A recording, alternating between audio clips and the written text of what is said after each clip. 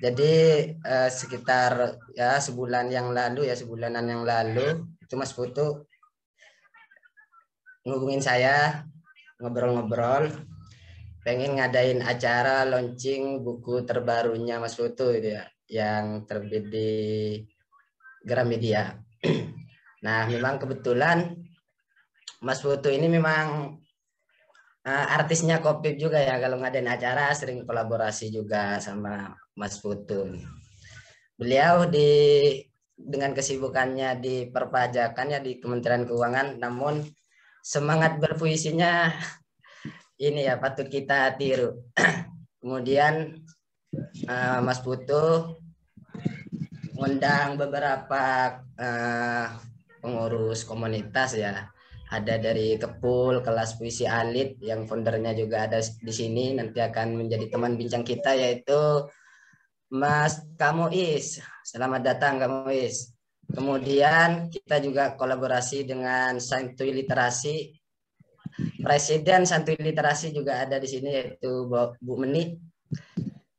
Nah, kemudian ada Mas Eko, dosen UIN Semarang ya, dosen bahasa Indonesia dan juga pernah kolaborasi juga sama Kopip atau komunitas penikmat puisi yang mana memang spirit ya eh, komunitas penikmat puisi itu untuk membangun solidaritas dari berbagai penulis baik yang udah senior atau yang pemula yang milenial gitu.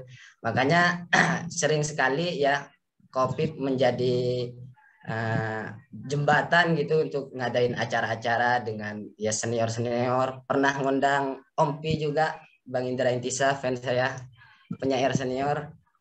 Alhamdulillah gitu ya. Semoga kegiatan-kegiatan seperti ini akan terus kita laksanakan, kita gelorakan gitu ya, sehingga uh, menjadi sumbangan untuk masyarakat untuk lebih melek literasi, terutama di bidang puisi ya. Makanya Kopip itu namanya komunitas penikmat puisi. Kalau Mas Putu itu kan apa biasanya yang jargonnya itu apa mas itu puisi adalah nutrisi. Nah, kalau mas Eko ini kultur mas Mara katanya. Ya memang para penyair penyair santai kayak gini nih saya suka gitu. Makanya sering menjadi ini tamu undangan di komunitas penikmat puisi. Nah langsung saja saya bacakan ini ya biar nggak tambah panjang. Eh, rangkaian acara rangkaian acaranya ya. Pembukaan ya saya sendiri ya Udah terus moderator Kak Ayu Rahayu Hestiningsih. Beliau pegiat literasi sedang menempuh studi S2-nya di UGM. Lagi ngerjain tugas ya Kak Rahayu, tesis. Semoga lancar lah. Terus teman bincang kita yang pertama Kak Muhammad Iskandar, founder dari Kepul atau Kak Muiz. Kemudian teman bincang kedua Ibu Meni, Presiden Santuy Literasi. Kemudian ini ada Mas Dimas Wisnu Mahendra. Ini satu komplotan sama Mas Putu ini. Sama-sama di Kementerian Keuangan. Kemudian ada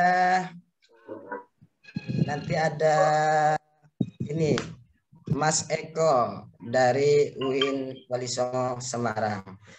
Nanti juga ada sesi tanya jawab, kemudian sesi baca puisi dari peserta webinar, dan juga penampilan-penampilan. Nah itu rangkaian acara ya.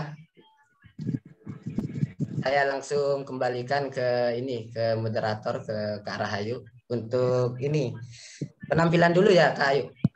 Boleh boleh. Oke.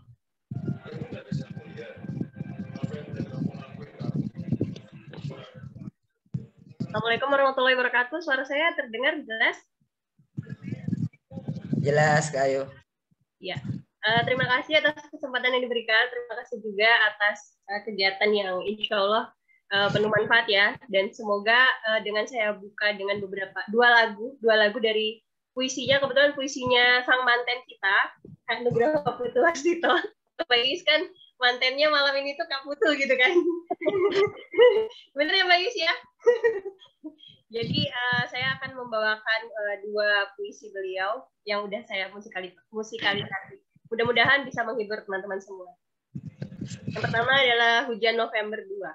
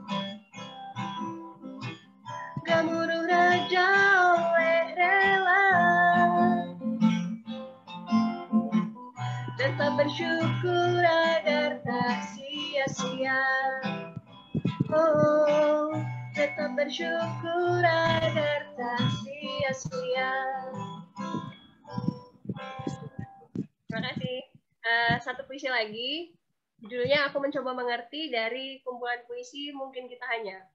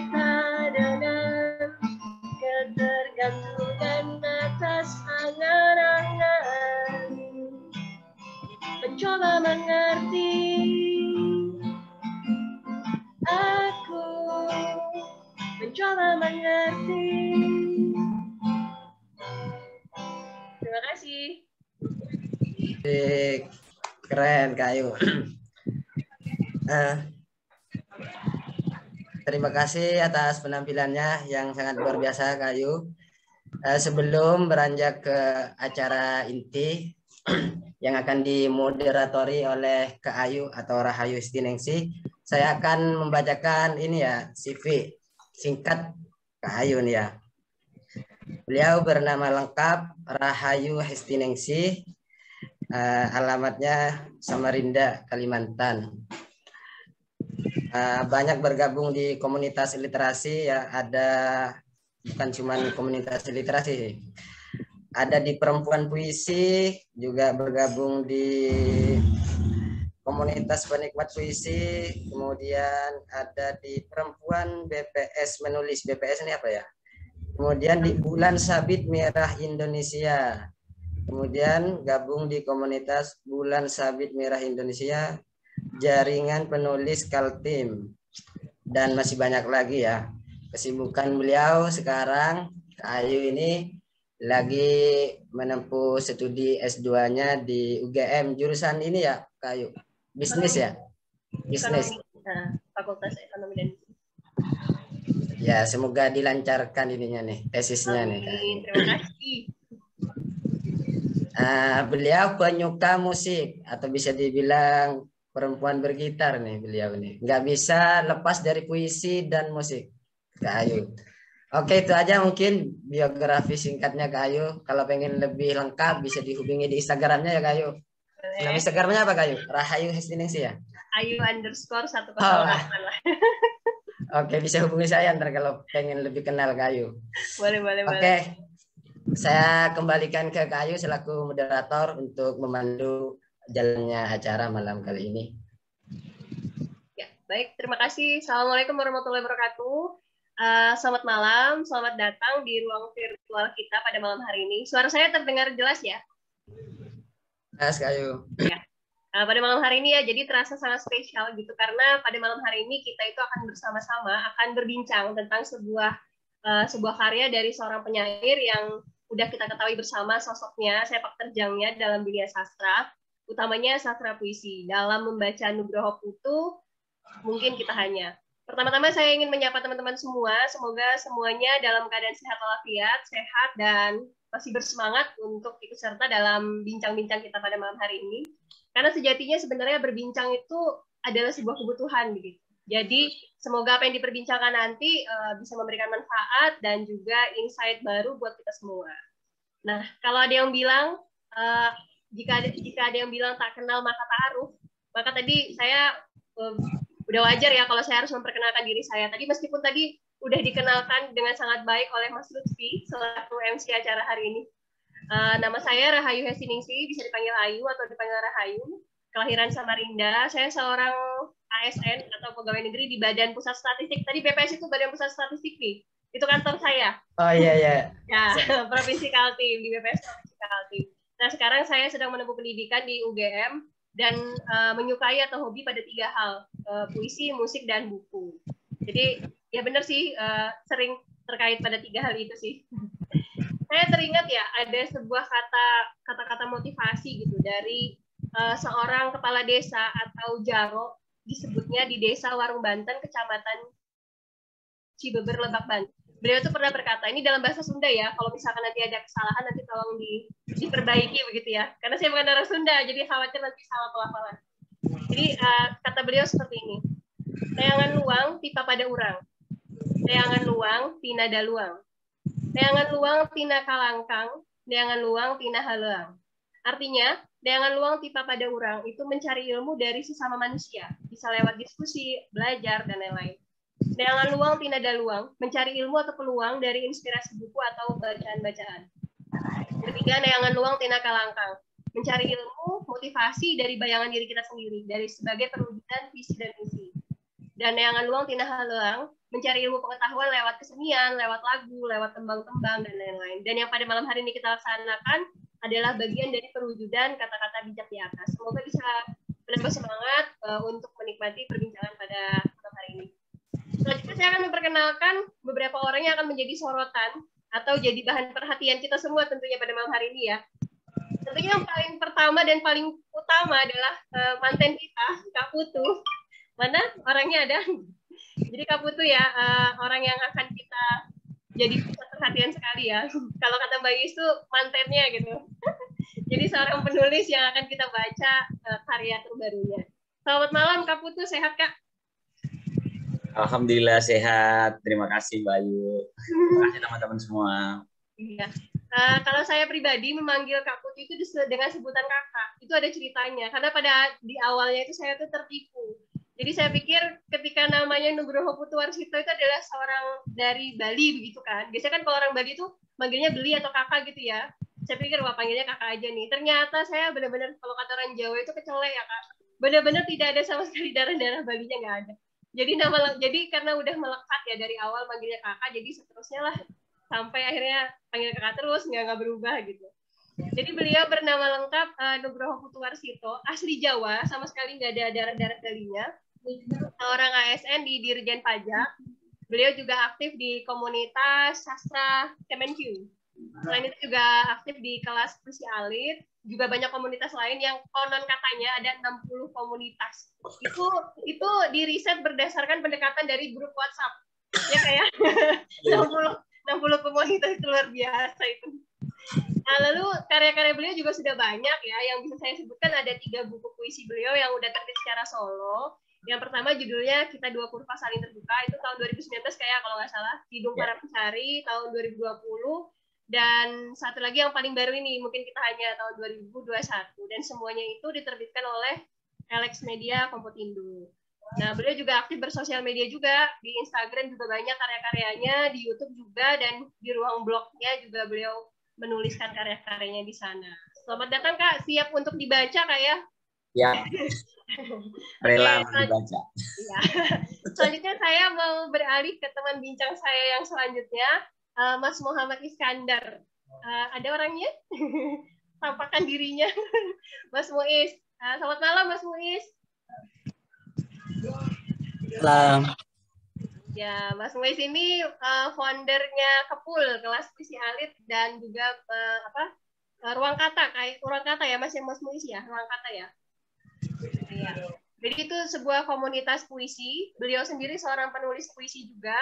Uh, kelahiran Demak uh, puisi-puisinya termuat di beberapa koran cetak dan online, di antaranya Nusa Bali dan Biem.co. Pernah diundang ke pertemuan penyair Nusantara di Kudus tahun 2019 dan beberapa tempat di Indonesia. Jadi luar biasa ya ininya uh, apa aktivitasnya khususnya di dunia sastra juga udah ke mana-mana gitu. Beliau juga uh, punya buku puisi tunggal judulnya uh, Lelaki Utara. Ya Mas ya tahun 2020 ya. Nah, siap membaca Kak Putu ya, Mas Muis ya. Oke, nanti ditunggu ininya. Uh, terus saya beralih ke teman bincang saya selanjutnya yang paling cantik di antara semua, Mbak Meni Komariatin. Uh, adakah orangnya? uh, beliau ini, eh halo Mbak Meni, Assalamualaikum. Waalaikumsalam warahmatullah. Teman bincang yang paling cantik di antara semua, yang lain nggak boleh ngiri ya Meni yang paling cantik. Kelahiran Kebumen, uh, beliau seorang ibu rumah tangga, tinggalnya di Bandung. Nah, orang Bandung. Mudah-mudahan tadi lafal saya dalam bahasa Sunda nggak salah ya Mbak. Kalau salah benar sih. Cuma saya juga ya? nggak ngerti. sama berarti. Ah, berarti saya alhamdulillah selamat. Kalau nggak takut saya dimarahin sama orang Sunda ya. Jadi beliau itu juga uh, seorang ibu rumah tangga, uh, tinggal di Bandung, sedang menyelesaikan pendidikan S2-nya di Utara aktif banget di berbagai organisasi, di antaranya founder Persaudaraan Muslim Negarawan, juga founder Dewan Santuy Nasional, dan juga tergabung di Salimah Jawa Barat dan banyak organisasi lain. Nanti uh, Mbak Meni siap juga ya membaca kaku tuh dari sisi mana nih nanti kita ini deh ajak ngobrol deh. Selanjutnya saya mengundang teman bincang saya selanjutnya Mas Dimas Wisnu Mahendra. Yang mana kah orangnya? Ya, hadir. Ah, hadir ya. Malam, Mas. Malam, Mbak. Salam kenal semuanya. Salam kenal. Nah, beliau ini uh, bilang katanya beliau ini adalah penggembira komunitas sastra Kemenq dan komunitas teater Arta Kemenq.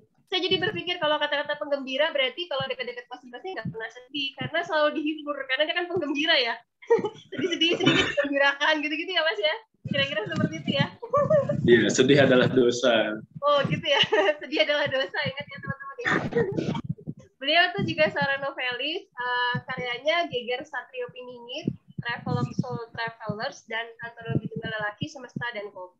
Kenapa ya kalau orang lelaki suka sastra mesti suka minum kopi juga? Kenapa ya mas itu? Nantilah kita bincang-bincang ya mas, cari tahu jawabannya.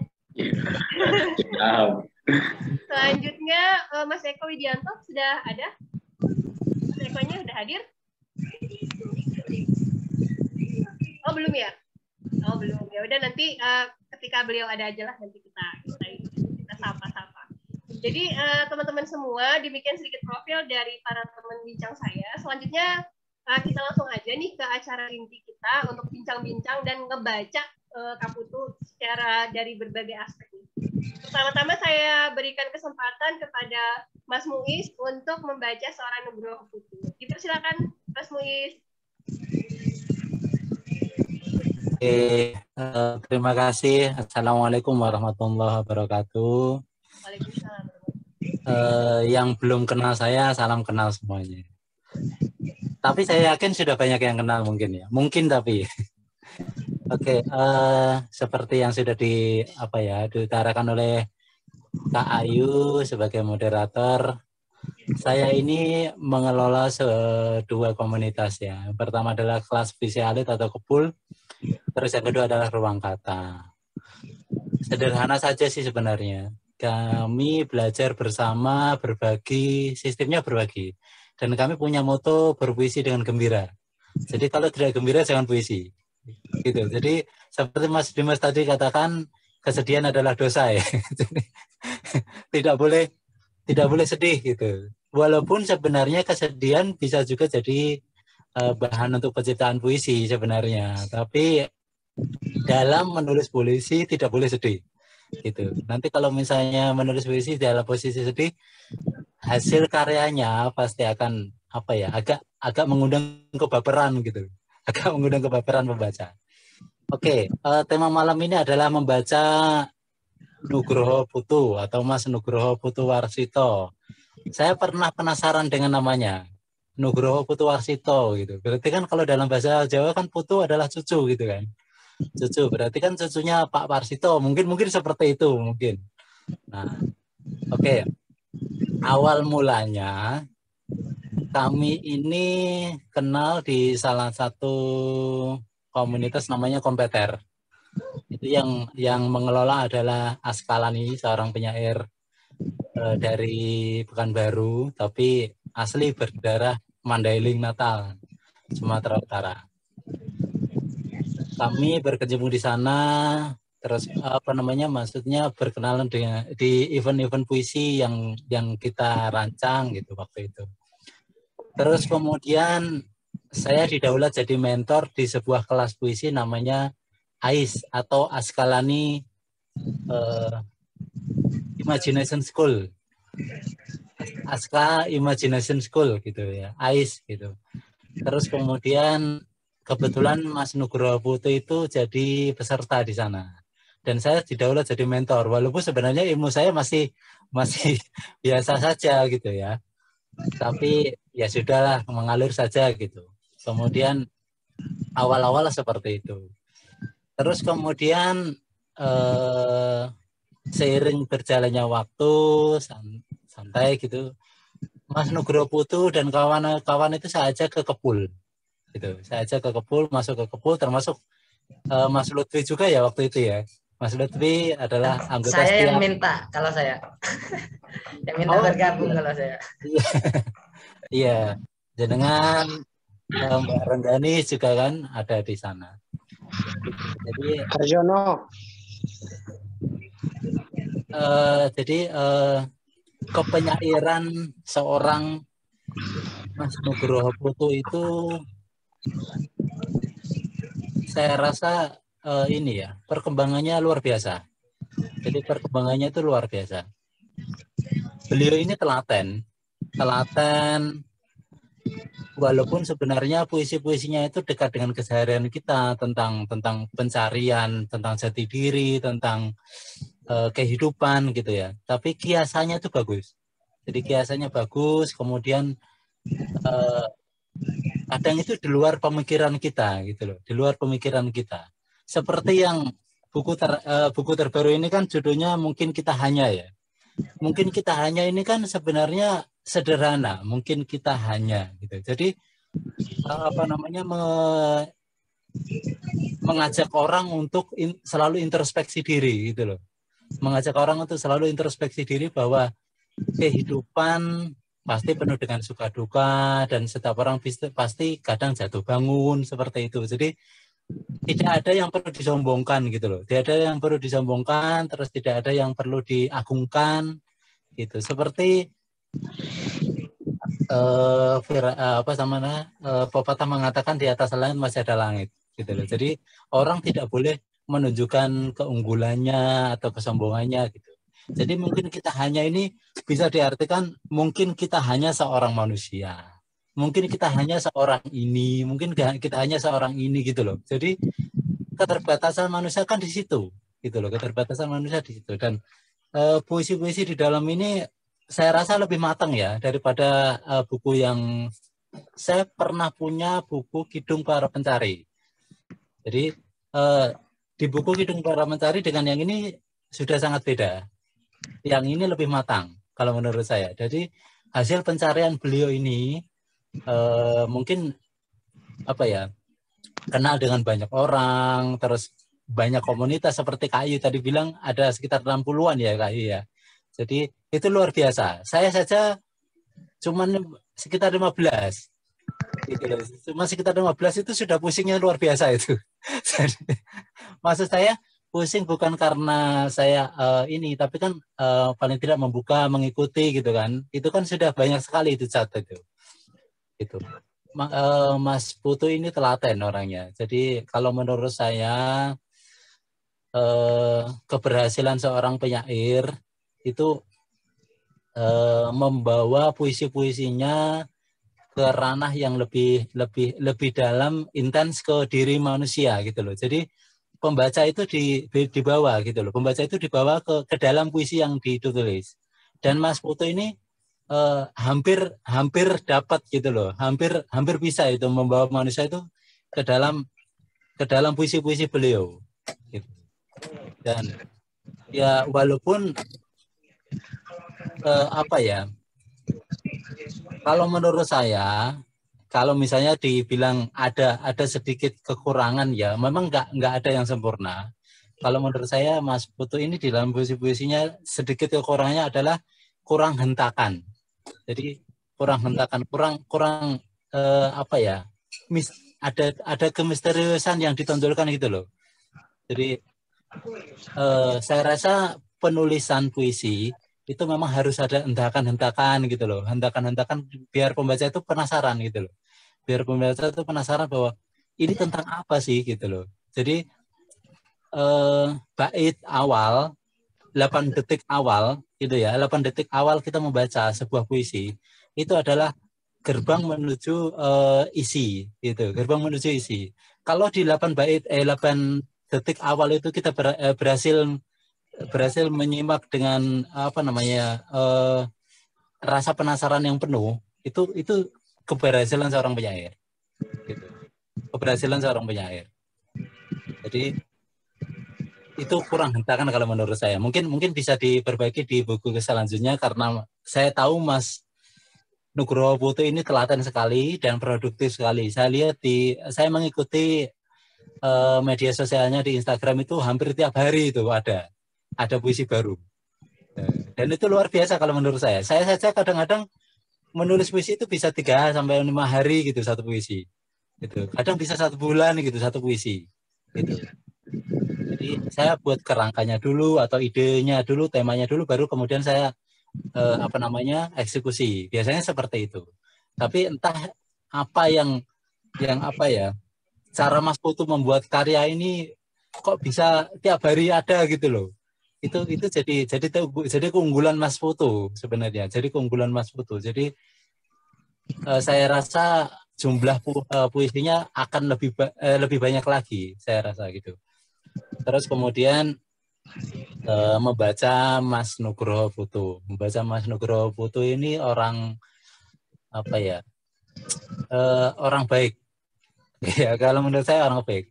Jadi beliau ini ramah gitu di grup juga santai sering sering guyon gitu. Jadi eh, prinsip seorang penyair sebenarnya kan apa namanya menggem eh, gini ya mengajak orang bergembira gitu loh mengajak orang bergembira.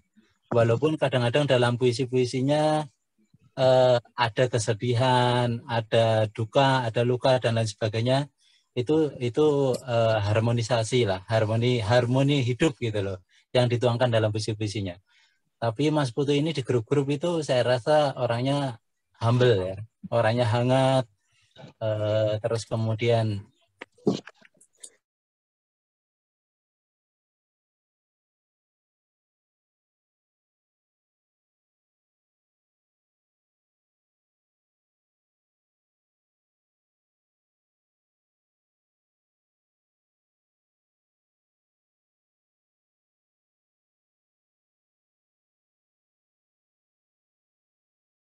Putu dan Muhammad Lutfi. Salam budaya untuk semuanya. Dilanjut. Eh, masih ada waktu ya, Kayu ya? Eh, Iya, tinggal dua menit lagi cukup. Dua menit lagi. Oh,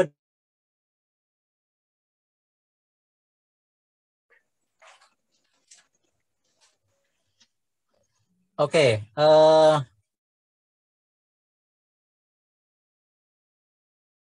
saya akan membacakan satu buah puisi pendek dari buku Mungkin Kita Hanya. Maksimal karena terus terang saya ini kan hari Senin kemarin kan bahasa Jawa itu. Masih di badan itu masih panas dingin gitu loh. Makanya saya pakai sarung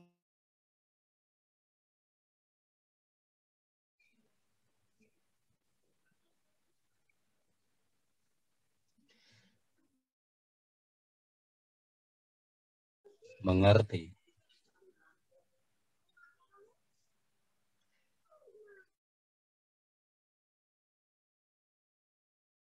saat kau bilang benci pada puisi.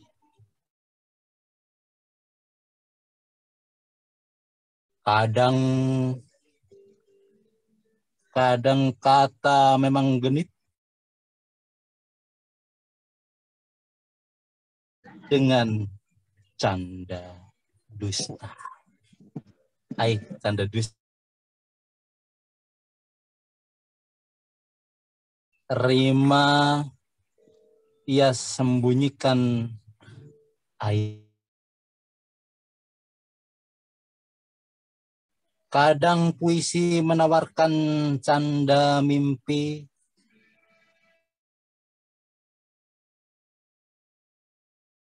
Tas angan-angan. Nugroho Putu Warsito. Tapi silakan dia dilanjut Kak Ayu. Ya, Assalamualaikum warahmatullahi wabarakatuh. Waalaikumsalam warahmatullahi wabarakatuh. Puisi yang saya nyanyikan juga ya, Kak Putih ya. Iya. jadi ini ya apa namanya kita bisa merasakan ininya kayak dapat jadi dapat dua suasana begitu kan kalau di, saat dibacakan dengan uh, Mas Mis kan rada-rada sendu-sendu gimana gitu. Apalagi malam minggu hujan begini kan ya. Rada-rada sendu gimana gitu. Tapi tadi kalau tadi saya nyanyikan dengan uh, agak ceria-ceria. Terima kasih banyak Mas Muiz uh, untuk pembacaannya kepada Kaputu. Tapi ada yang mau saya tanyakan ini uh, Mas Muiz uh, Mas Muiz kan udah udah ini nih udah membaca Kaputu nih. Uh, Mas Muiz setelah apa uh, udah mengenal Kaputu secara personal juga, terus uh, membaca karya-karyanya juga, ada nggak sih Mas Muiz itu melihat uh, khasan atau ciri-ciri khas khusus dalam setiap karya-karyanya Kaputu? Ada nggak sih yang membedakan karya-karya beliau itu dengan uh, karya-karya orang lain? Jadi kalau misalkan ini, apalagi kan Mas Muiz kan mungkin sudah banyak membaca uh, puisi-puisi karya orang lain gitu ya. Jadi ketika membaca puisi, oh ini Nugroho Putu banget nih, ada nggak yang seperti itu Mas Muiz? Silakan Mas Muiz. Eh, gini Kak Ayu. Salah satu salah satu eh, keberhasilan seorang penyair adalah menemukan karakternya sendiri. Gitu. Jadi itu pesan saya kepada teman-teman di entah di kepul atau ruang kata gitu ya. Jadi kita harus bisa menemukan karakter kita sendiri walaupun kita terinspirasi oleh banyak penulis. Gitu. ya. Walaupun dalam tanda kutip kita terinspirasi oleh banyak penulis. Kita harus bisa menemukan karakter kita sendiri gitu.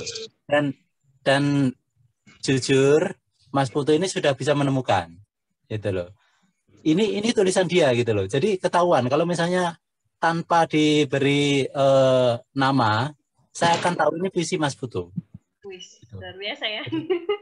Itu itu keberhasilan seorang penyair. Jadi harus harus bisa menemukan itu gitu loh. Dan Mas Putu sekarang sudah bisa gitu loh. Walaupun sebenarnya tadi apa yang saya katakan memang eh, apa ya keriusuhan saya sebenarnya. Mas Putu ini sudah sudah tiga kali ya menerbitkan buku antologi puisi Solo, tapi memang eh, saya rasa belum belum menemukan hentakan-hentakan yang yang yang ini, maksudnya yang membuat pembaca tuh Gongnya wah gitu ya, gitu loh, ya. kayak kayak kayak ini gitu, maksudnya Gong, eh, jadi Gitu, ya, ya. Jadi masih masih semoga nanti buku keempat atau kelima bisa itu diberikan hentakan-hentakan itu. Gitu. Oke, terima kasih banyak Mas Luis. Nanti kita simpan dulu ya Kak Putu ya. Nanti kita di sesi tanya jawab nanti uh, biar Kak Putu kumpulin kumpulin pertanyaan dulu nih buat dijawab. Selanjutnya uh, terima kasih sekali kepada Mas Luis untuk uh, pembacaannya tadi, uh, membaca Nugroho Putu. Selanjutnya saya ingin menyapa teman bincang saya yang paling cantik, Mbak Beni. Selamat malam Mbak Beni. Ya, selamat malam Mbak Ayu. Salam kenal Mbak Beni ya, baru kali ya. ini apa bertatap muka dengan Mbak Beni. Nah, uh, Mbak Mening ini kan uh, presiden loh teman-teman, presiden Dewan Santri Nasional. secara secara personal pasti udah udah mengenal uh, Kaputu mungkin lebih baik ya daripada saya terutama gitu kan karena sama-sama aktif di Dewan Santri Nasional itu. Nah, itu komunitas santai kah atau komunitas apa sih sebenarnya Mbak Mening? Nanti mungkin bisa diceritakan sekaligus membaca uh, Kaputu dari dari apa ya dari interaksinya selama ini bersama itu seperti apa. Silakan Mbak Mening. Iya, Assalamualaikum warahmatullahi wabarakatuh. Makasih Mbak Ayu dan juga teman-teman semuanya. Uh, saya jujur saya bingung ya, uh, tersanjung banget nih bisa bisa hadir di uh, forum. Uh, kalau saya bilang ini forum orang-orang uh, para pencari makna ya. Uh, jadi orang-orang yang jago puisi, terus kemudian punya nilai sastra, punya bisa menilai sastra secara uh, apa dalam ya, itu orang-orang yang luar biasa kalau menurut saya sih. Uh, sebelumnya uh, saya sapa dulu untuk uh, Mas Nugroho Putu. Jadi saya manggilnya Mas ya. Saya biasanya manggilnya Om. Mohon maaf ya, oh. ya karena sebenarnya kita usianya sama ya seusia. Cuman uh, kalau di Dewan Santri itu kalau nggak kita panggil Om, kita panggil Bang gitu ya. Nah seperti itu. Uh, Om Nugroho Putu, terus kemudian juga ada Mas Muiz dari Kepul tadi ya. Terus ada nanti ada Mas Dimas ya dari Komsaskeu sama Mas Eko dari UIN Walisongo. Dan juga eh, teman-teman eh, semuanya yang hadir pada malam hari ini, salam santuy kalau saya bilang ya, karena kita eh, komunitas kita presiden eh, dari Santuy Dewan Santuy Nasional. Nah, ini eh, sedikit cerita tentang Dewan Santuy Nasional. Ini sebenarnya sebuah komunitas yang uh, uh, organik ya. Jadi uh, di dari tahun 2019 kita mulai mengalami banyak kegelisahan sebetulnya di di masyarakat gitu ya dan kita sendiri juga bisa merasakan kegelisahan. Nah, ini nanti nyambung dengan uh, pertemuan saya dengan Om Putu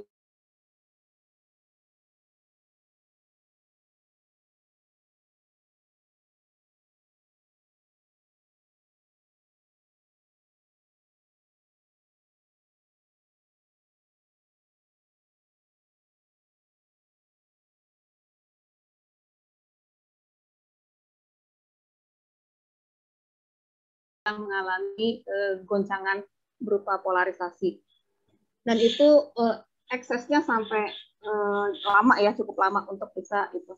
Nah, uh, kemudian dari situ kita membuat sebuah uh, apa Dewan Santun Nasional. Tapi sebelum itu sebetulnya saya ketemu Mas Putu justru bukan di dari dari uh, Dewan Santun Nasional awalnya, tapi dari uh, ketemu di grup WA grup namanya uh, Arah Baru Indonesia gitu ya. Nah dari situ uh, itu kalau saya bilang itu juga grup uh, berupa apa ya semacam ada pergolakan uh, pemikiran ya pemikiran kemudian juga sama uh, kebatinan juga gitu ya emosional seperti itu. Jadi uh, dari ruang cara berpikir kita yang uh, semacam jadi di masyarakat atau mungkin dalam diri kita juga sering terjadi bahwa uh, kita dalam berpikir itu mengalami semacam ada dinding ya, dinding atau ruang pembatas ya yang tertutup yang uh, mungkin kita menjadi orang yang merasa menjadi orang yang eksklusif ya, eksklusif atau mungkin uh, bisa jadi ini karena merasa uh, kita mungkin udah orang jadi orang baik gitu ya, rajin rajin berbuat baik gitu ya dan seterusnya gitu ya tapi terkadang kita lupa bahwa uh, kita kadang bahkan kita menyalahkan orang lain kamu kenapa begini kenapa begitu? Begitu ya. Tapi kita lupa bahwa diri kita sendiri juga mungkin bisa jadi salahnya juga lebih banyak gitu ya kesalahan-kesalahan kita lebih banyak gitu ya. Uh, jadi kadang kita mencari pembenaran dengan kesalahan-kesalahan kita itu ditutupi dengan menyalahkan orang lain seperti itu. Nah, padahal di dalam buku karya yang ini, yang baru ini, ini benar-benar kita sejatinya mungkin kita memang hanya ya. Jadi itu. Jadi kita sebagai manusia kita harus sadar bahwa kita ya manusia gitu ya tempatnya salah gitu ya kita tidak berhak untuk uh, mengklaim orang lain ini salah atau ini benar sesuai dengan kehendak maunya kita gitu ya seperti itu uh, saya memaknai pergulatan batinnya Mas Putu gitu ya saat uh, apa uh, di dalam gerakan arah baru Indonesia kayak gitu ya itu seperti itu jadi ada uh, itu menjadi sebuah uh, tikungan tajam kalau menurut saya dan saya ketemunya di situ gitu ya. Saya ketemu di situ gitu. Kemudian kita mengalami uh, pergulatan batin yang sama gitu ya. Uh, terus kemudian uh, di situ saya melihat uh, dalam suatu waktu itu dia meng-share ya kalau nggak salah waktu akhir tahun 2020 dia itu meng-share puisi dia baca puisi punya uh, siapa mas yang uh, apa tuh ya namanya ya uh, Wiji Tukul ya kalau nggak salah. Nah oh, waktu yeah. itu juga, nah Wiji Tukul ya, iya. itu yeah. puisi tentang judulnya apa sih tuntutan atau apa gitu. Nah uh, di situ waktu itu menjelang memang menjelang kontestasi itu menjelang uh, pergolakan politik juga gitu ya.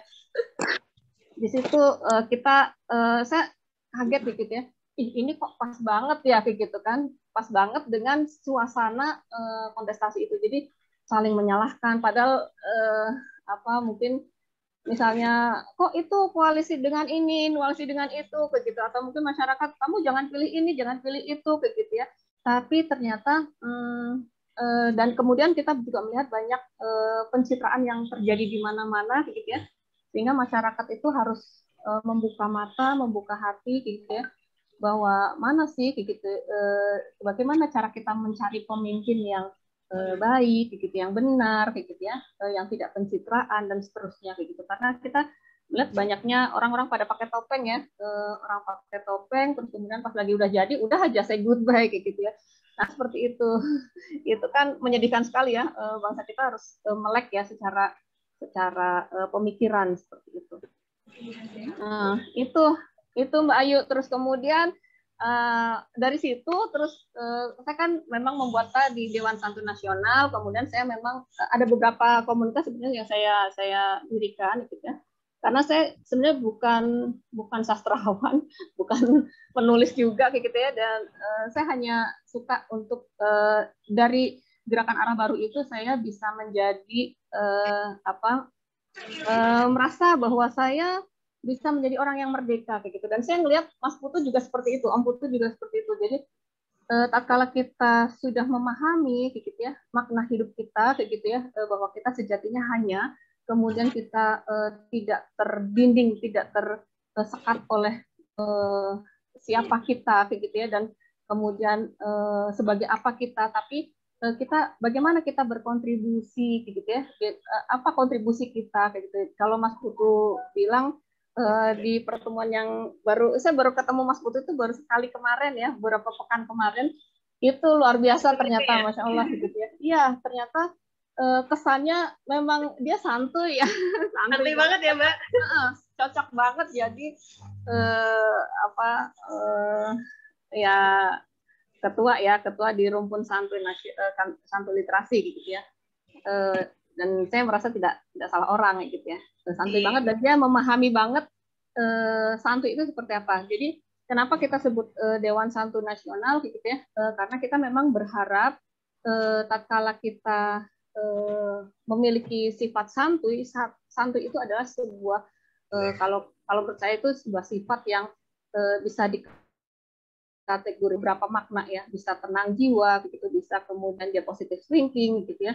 Dia juga bisa eh, kalau dia santuy itu dia bisa merdeka, jiwanya merdeka begitu ya. Dan dia bisa lebih eh, lentur ya, lebih lentur dari sisi kognisi kita gitu. Kalau, kita tenang, kita bisa mikir kita lebih enak begitu ya, lebih enggak stres ya. Jadi produktivitas kita bisa meningkat sebetulnya dengan sikap santuy itu. E, beda tatkala kita misalnya uh, kita dikejar produktivitas ya, uh, tapi tidak kita hadapi dengan sikap santuy, itu akan terjadi stressing dan uh, depresi ya. Nah, seperti itu. Jadi saya melihat uh, 2020 itu tatkala pandemi masuk ke Indonesia kayak gitu, semua orang tuh pada panik ya, pada panik kayak gitu ya, pada uh, cemas, panik, terus kemudian kebetulan saya memang uh, sebelum jauh sebelum itu saya mengalami uh, uh, saya sebagai penyintas autoimun ya oleh dokter itu sudah diwanti-wanti. Uh, kamu harus bisa menjaga keseimbangan. Keseimbangan baik itu pikiran pola hidup kemudian pokoknya keseimbangan semuanya kayak harus seimbang. Nah saya memaknai santuy itu seperti itu harus ada titik keseimbangan sampai kita mencapai titik keseimbangan kita kenyamanan kita kalau Mas Putu bilang di pertemuan yang kan kemarin itu meluaskan eh, apa ruang kenyamanan. Jadi tatkala kita nyaman, kita tenang, kita santuy. Gitu. Dan itu efeknya bahagia gitu. Bahagia itu nanti akan akan efeknya bisa sehat secara jasmani ataupun rohani seperti itu. Dan efeknya saya melihat bahwa eh, puisi-puisi Om Putu ini ini hasil dari uh, jiwanya yang sangat santuy ya. Jadi makanya kenapa tadi Mas Eko eh, Mas eh, Muiz bilang ini kok orang bisa sehari bisa kadang bikin dua puisi kayak gitu ya. Nah, padahal kita aja bikin puisi satu juga aja udah lama banget nggak bisa-bisa kayak gitu ya. Nah, itu mungkin bisa jadi memang dari sikap santuinya dia kayak gitu ya, santuinya Om Putu itu. Seperti itu Mbak Mbak, Mbak Ayu. Oke, makasih banyak Mbak Mendi uh, atas membacanya Kak Putu dari sisi emosionalnya. Jadi tadi sebenarnya saya pengen nanya, seberapa besar sih pengaruh sisi emosional yang bergolak dalam diri Kak Putu itu dalam menginisiasi karya-karya beliau menurut pandangannya Mbak Menini? Seberapa Ya, besar? Nah, nah ini ya yang saya eh, heran ya setiap kali eh, kan memang kalau Om Putu bilang bahwa puisi itu kan nutrisi ya, nutrisi jiwa. Jadi setiap orang yang memang sedang eh, dalam hati kita sedang mencari makna gitu ya. Kalau kita baca puisi ya ke situlah gitu ya akan kita temukan seperti itu. Nah, kebetulan mungkin gitu ya, kita satu jiwa dengan Om Putu. Jadi tatkala saya baca gitu ya, itu kok ngena terus gitu. Kemarin tuh sampai sampai sebenarnya pengen nangis gitu ya kalau ingat ya Allah kenapa kita dulu begini kita us- usia sudah segini tapi baru nyadar kayak gitu ya bahwa ternyata tatkala kita hmm, bisa memaknai hidup secara lebih lebih bijak lebih arif gitu ya kita bisa ibaratkan kita kayak baru buka jendela kayak gitu ya buka jendela kita lihat cakrawala ternyata di luar itu tamannya sangat indah meskipun mungkin di situ ada segala macam rupa bunga gitu atau kemudian bahkan ada ada eh, hamanya atau apanya segala macam itu itu menjadi sebuah eh, diorama yang sangat indah gitu loh Mbak Mbak Ayu. Nah, saya melihat eh, Om Putu itu bisa meramu itu semua dalam sebuah karya-karya eh, puisinya itu. Gitu. Terima kasih banyak Mbak Meni. Mungkin Mbak Meni Iya. mau membacakan sebuah puisi eh, untuk Aduh. untuk kita ya, semua Om? nih. biar biar adil. Nah, itu saya sebenarnya nggak nggak jago juga baca puisi, bagusnya Om Putu yang baca ya. Enggak apa-apa, kan kan kan paling cantik nih. Jadi harus Aduh. ini juga nih. Apa nih ya? Bentar ya. Eh, Oke, ditunggu ditunggu. nih. Apa ya? Coba ya. Dongeng pertemuan ya. Silakan. ini nggak tahu pemaknaannya benar atau enggak tapi saya memaknainya ada ya. Eh, di sini judulnya dongeng pertemuan. Karya Nugroho Putu. Para pembaca menangkap tanda. Menyimpan dalam tulisan. Para pemimpi menjaring isyarat melemparnya ke peti pikiran para pener- perenung mengendapkan gelisah, merebusnya dalam panci kontemplasi. Para pemimpin merampas tanda, isyarat dan gelisah, memakainya untuk membuat senjata, perisai, dan ranjau. Lalu, dongeng tentang pertempuran itu diulang. Arahnya tombak, beradunya pedang dan perisai. Sudah mati dan darah kering. Makna-makna tercecer. Para pembaca menangkap sisa. Para pemimpin menjaring asa. Para perenung mengendapkan getir. Para pemimpin tertawa-tawa menenggak puasa. Itu, Masya Allah itu ya. Nah itu. Sekali, terasa sekali. maaf kalau ada kekurangan. Maaf maaf Putu ya. Kalau ada kekurangan.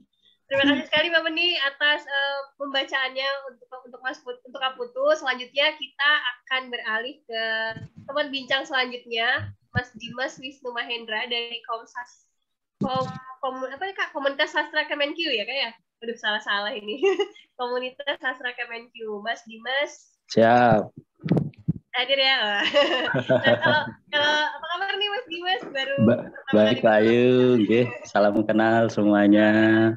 Nggih. Jadi kalau melihat latar belakang Mas Dimas yang memang satu lingkup sama-sama di Kementerian Keuangan ya Mas Dimas ya. Ya, Nah ini kan eh, tentunya sudah sangat mengenal baik sekali nih eh, Kak Putu dari perjalanannya dalam dunia sastra juga, sekaligus juga seorang birokrat juga gitu kan. Nah, saya pengen tahu nih apa sih yang bisa mungkin bisa Mas Dimas gambarkan sama kita tuh terkait dua hal itu yang mungkin sangat bertolak belakang nih. Satu sastra, satu eh, birokrat eh, pajak lagi kan yang urusannya serius-serius nih angka-angka gitu kan. Sedangkan sastra kalau sastra kan agak-agak healing-healing gitu ya Mas ya. Ya. Mas Dimas bisa kasih gambaran nih eh, seorang Nugroho Putuwarsita dari dua sisi itu. Silakan Mas Dimas. Nggih. Terima kasih Mbak Ayu waktunya. Apakah suara saya bisa terdengar dengan jelas? Jelas, jelas. Iya, siap. Ya, ini kebetulan saya kebagian apa ini episode menceritakan seorang Mas Putu ya dari kacamata yang mungkin kalau bisa dibilang kalau yang lain membaca Mas Putu dari buku-bukunya gitu kan, saya membaca beliau dari perjalanan beliau memang cukup panjang. Saya kenal Mas Putu itu dari tahun 1998. Ya, jadi 23 tahun ya sudah 23 tahun Mas Putu nggih. Nah, kalau diumpamakan sebuah film gitu ya, Mas Putu ini ya kalau film kan eh, ada pembabakan ya, ada katakan di prolog, lalu ada konflik dan terakhir ada klimaksnya gitu ya. Seorang Nugroho Putuwarsito ini bisa diceritakan dengan dengan apa namanya eh, segmentasi seperti itulah. Katakan mari kita mulai menceritakan seorang Nugro, eh, Mas Putu dari fase Nugrohonya dulu gitu ya. Eh, itu seperti dengan buku pertamanya ini, kita dua kurva saling terbuka. Jadi kita ini mungkin saya boleh sedikit GR, eh, katakan kitanya itu saya dan Mas Putu begitu ya. Jadi di awal perkenalan kami itu, saya ketika saya baru masuk itu kebetulan eh, apa namanya eh, angkatan kami kan D1 di STAN ya tahun 98. Itu kebetulan apa namanya ya cukup solid. Kita, kalau waktu itu kita suka sombong, kita adalah satu-satunya angkatan D1 di STAN yang menggulingkan Soeharto gitu kan. Karena kecelakaan sejarah aja pas kebetulan tahun 98 gitu kan kita sombong. Iya. Nah, Mas Putu ini produk Orde Baru, dia kakak kelas saya gitu kan. Cuma herannya setiap kita angkatan kami itu kalau jam istirahat itu sholat duhur bareng terus ngobrol-ngobrol gitu kan. Orang ini selalu nyempil. Saya tuh ini perasaan dulu nggak ada deh di angkatan saya ini iki sopo gitu. Orang ini selalu hadir gitu kan. Ikut nyimak, ikut goyang guyung gitu kan. Terus saya mulailah saya kenal gitu kan. Nah, di situlah saya eh, kesan pertama saya adalah orang ini anomali gitu kan. Iya, dia adalah alien yang kesasar ke bumi ini kayaknya. iya, iya nyasar ke angkatan saya, bisa nyasar ke mana-mana dan beberapa kali pertemuan eh, kebetulan kita akhirnya menemukan punya beberapa kesamaan kayak di berpuisi dan segala macam. Tapi waktu itu memang hanya fase awal gitu. Jadi kayak eh, kalau baru prolog, baru ketemu pertama, terus ada fase agak lama berpisah gitu kan. Nah, eh, katakan bagian prolognya selesai di situ. Itu cukup lama rentangnya ketika itu kita hanya tahu Mas Putu itu oh dia seorang penikmat sastra menggeluti suka berpuisi suka berkarya segala macam. Tapi saya juga suka tapi nggak terlalu seperti Mas Putu. Dan kami berpisah waktu itu cukup lama ya Mas ya. Eh, karena Mas Putu pindah waktu itu di kantor pusat terus pindah ke kanwil khusus. Lalu eh, fase kedua katakan dari buku keduanya ini adalah Kidung Para Pencari ya. Kalau kita bisa bilang mulai ada ketemunya lagi itu ujuk-ujuk 20 tahun kemudian. Jadi dari 98 ke 2018. Nah, pas waktu itu jadi awalnya itu kok tiba-tiba saya ada yang jorokin nih kecemplung di apaan ini WA grup komun, komunitas sastra Kemenkyu gitu kan. Opo meneh iki sopo iki gitu kan. Nah, terus apa saya saya lihat yang nge namanya Pak Sujukova. Pak Sujukova ini sopo meneh gitu kan. Saya nggak nggak pernah punya kenal nama orang itu gitu kan. Tak pancing-pancing waktu itu nggak kena. Nah, masuklah di situ. Akhirnya usut punya usut terungkaplah bahwa itu adalah nickname-nya Mas Nugroho Putu. Nah, mulailah di jadi ya itu ada ceritanya nanti biar Mas Putu yang cerita. Jadi dia dari keyboard ya Mas ya itu hanya menggeser beberapa huruf semuanya digeser digeser gitulah. Pokoknya kurang lebih seperti itu. Jadi itulah jadilah nickname-nya beliau Pak Sujukova yang nanti mungkin akan saya persembahkan satu musikalisasi puisi teruntuk Pak Sujukova. Nah uh, mulailah jadi beliau bercerita awalnya ketika 2018 itu ada perlombaan uh, sastra ya membaca puisi ya Mas Putu ya di tingkat Kemenkyu. Nah, waktu itu memang ada WA group uh, para para pesertanya ini dan ketika acara itu selesai mereka merasa sayang kalau orang-orang yang sudah terkumpul ini yang satu satu hasrat lah ya. Satu hasrat ini terus berpisah lagi gitu. Maka dari situlah lahir komunitas sastra Kemenkyu. Dan entah kenapa kok uh, beliau ingat saya gitu kan, terus saya dijorokin ke situ gitu.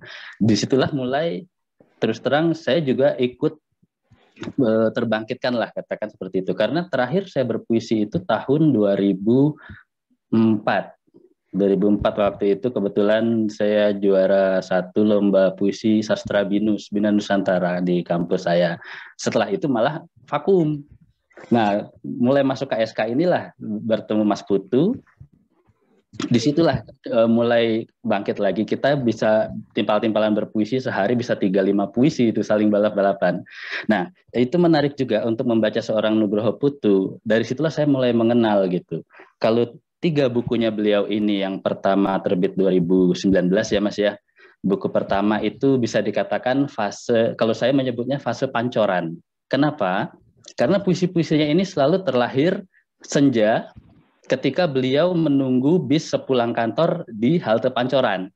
Nunggu Baswedan itu sampai sebekasi itu udah bisa terus aja dia ada ini saya timpalin lagi dia timpalin lagi apalagi puisi bisa sehari 3 sampai 5 puisi. Kalau tadi Pak Muiz uh, terus tiga atau lima hari satu puisi, beliau satu hari tiga lima puisi gitu ya.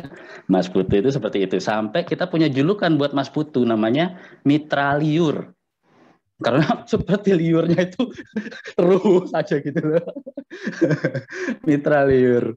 Iya, itu fase pancoran. Lalu kemudian Mas Putu eh, kebetulan mendapat penugasan pindah ke Temanggung ya Mas ya ke Temanggung waktu itu. Nah, di sanalah buku keduanya itu lahir Kidung Para Pencari tadi dan memang ada perbedaan gitu dari buku satu yang saya saya telah dari uh, karya beliau seperti kata Mas Muiz tadi semakin matang gitu ya ini bisa dikatakan inilah fase putu gitulah ya. Kalau tadi fase nugroho lah yang masih pecicilan masih masih petakilan mencari makna gitu, mencari jati diri.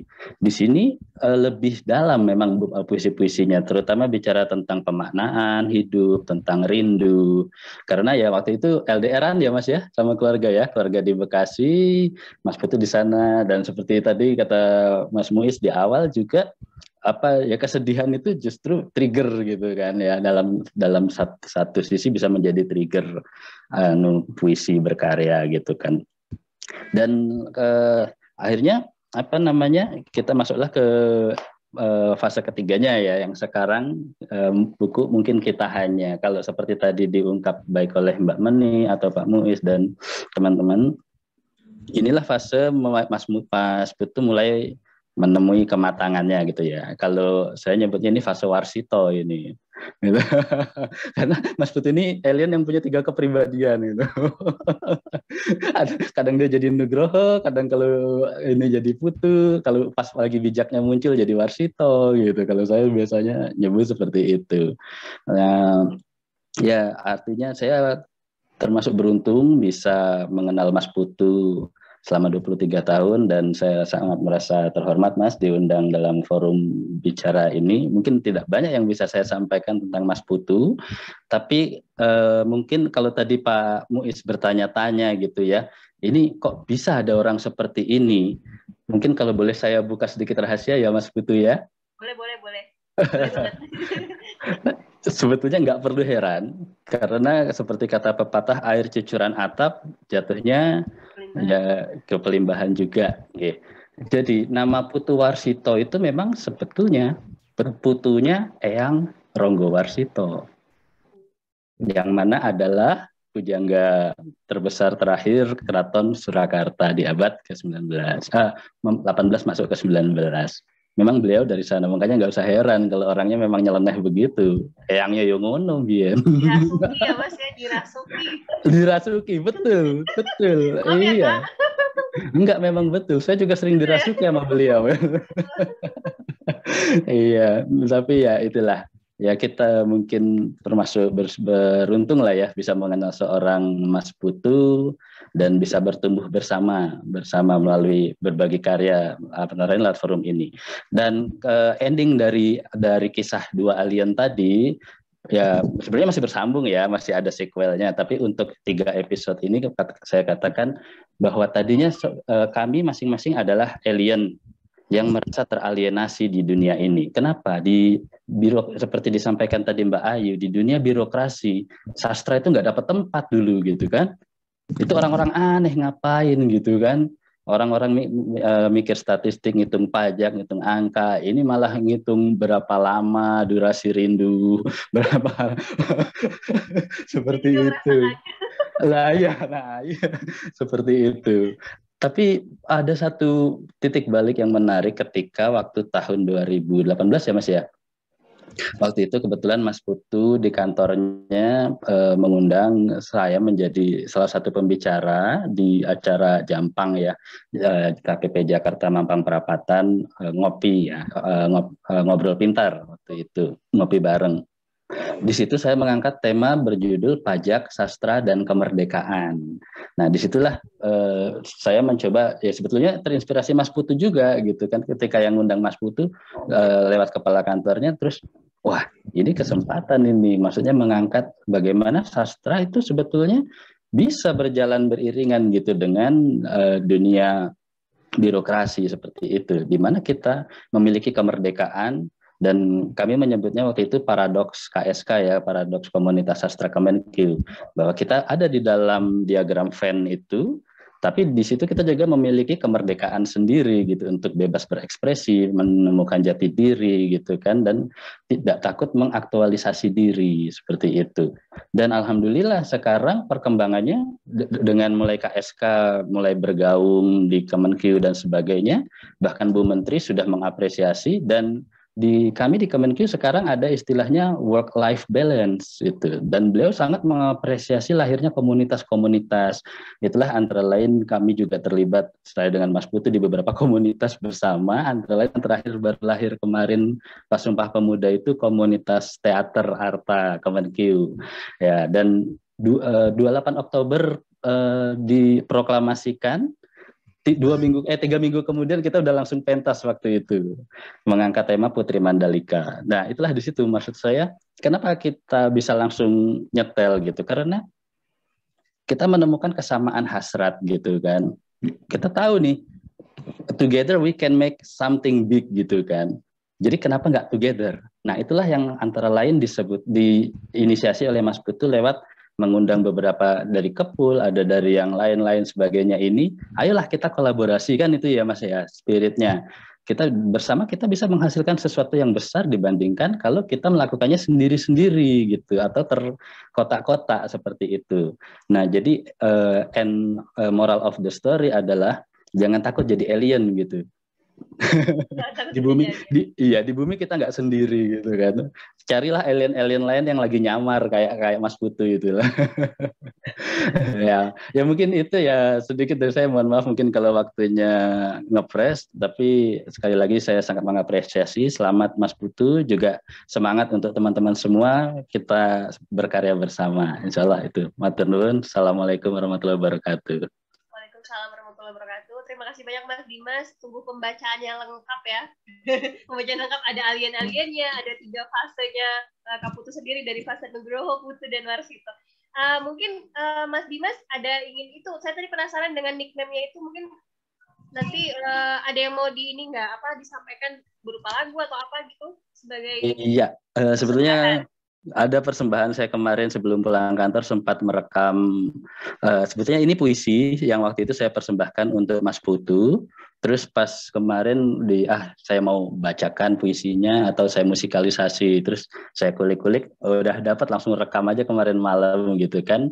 Terus mungkin kalau diperkenankan izin saya share uh, videonya ya. Lewat Mas Putu atau lewat mana? Bisa Mas? Dari sana kah dari rumah Semoga... saya ada gangguan juga ya. Gitu ya. Baik, saya... saya tadi nyoba agak gangguan ya, Mas. Saya nggak bisa. Ya? Oh, tuh.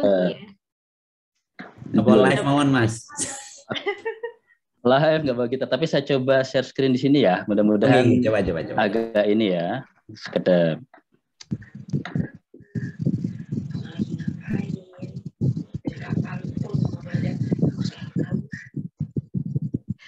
Apakah sudah terlihat? Uh, sedang proses. Sedang proses ya. Oke. Okay. Sudah terbuka? Di tempat saya belum sih. Tidak tahu di tempat belum ya. Saya.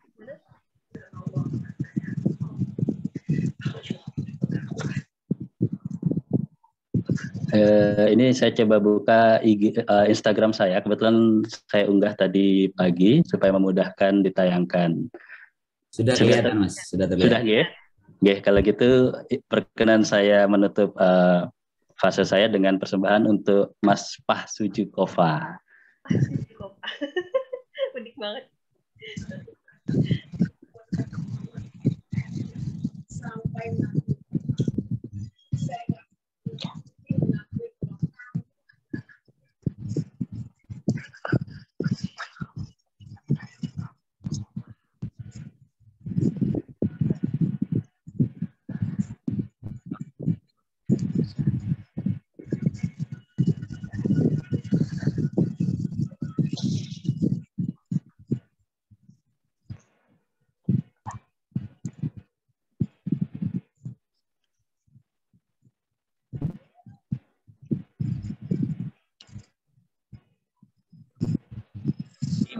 mengejar mendesak-desak. Berupa uap dan menyesak Kejal, pejal, kejal beranak.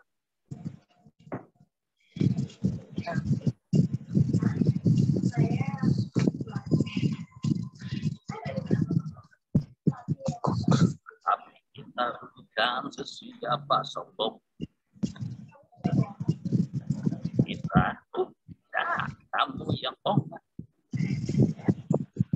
dan ku sekedar aku tak mau kalah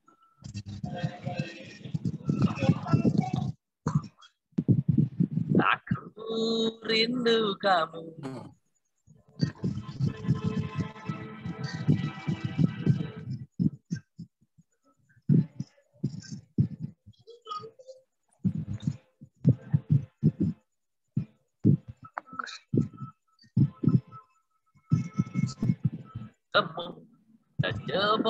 dinding lakon.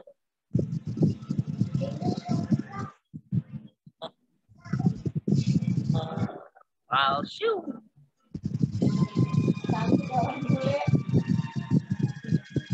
Meski kita berbahas ledak. Nah, dua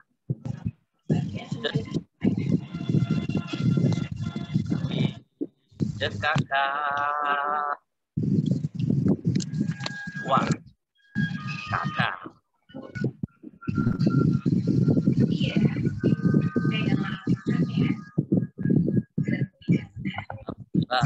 Raga peluk erat.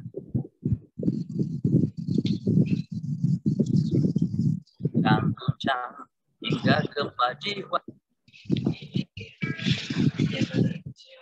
Dan gelap mengocok sampah. Acak kadung.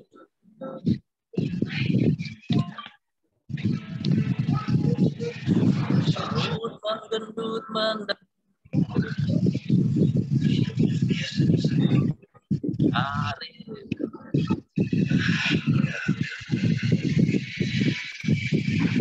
Dan kita suka Melotor Berguling. Guling di tanah. Hawa me- merobek angkasa hingga nangis. Darah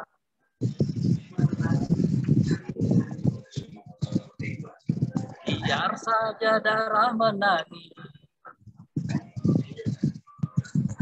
Dan langit compang camping.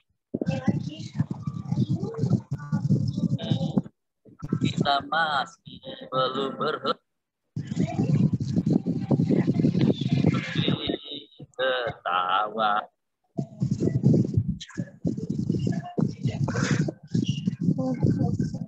Aha.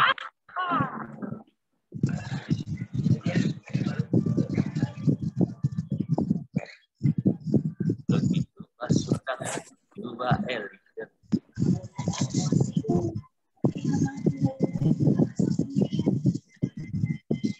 yang pertama bertemu lagi. Wah, tiga warsa lalu.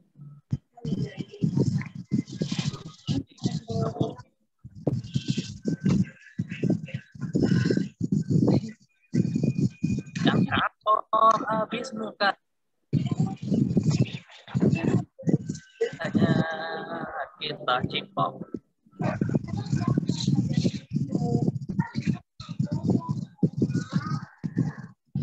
dan dunia sementara. Karena kita gagah.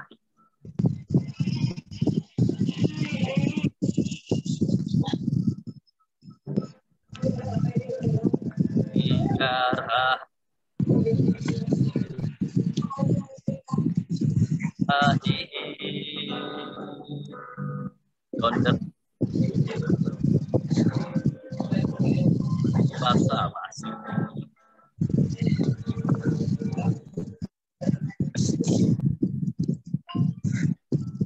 Dengan jarah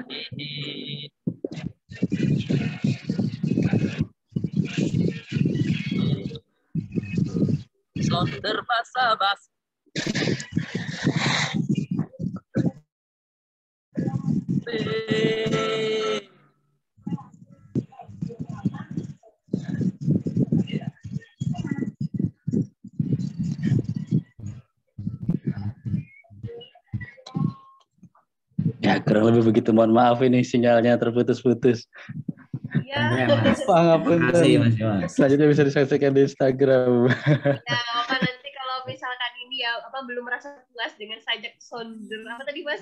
Sonder itulah bisa Iya, Sandi. Instagramnya eh, Mas Dimas. Terima kasih banyak Mas Dimas. Terima kasih banyak. Sama-sama. Mohon maaf sekali sinyalnya lagi jelek di sini habis hujan deras tadi. Nggak apa-apa. Iya.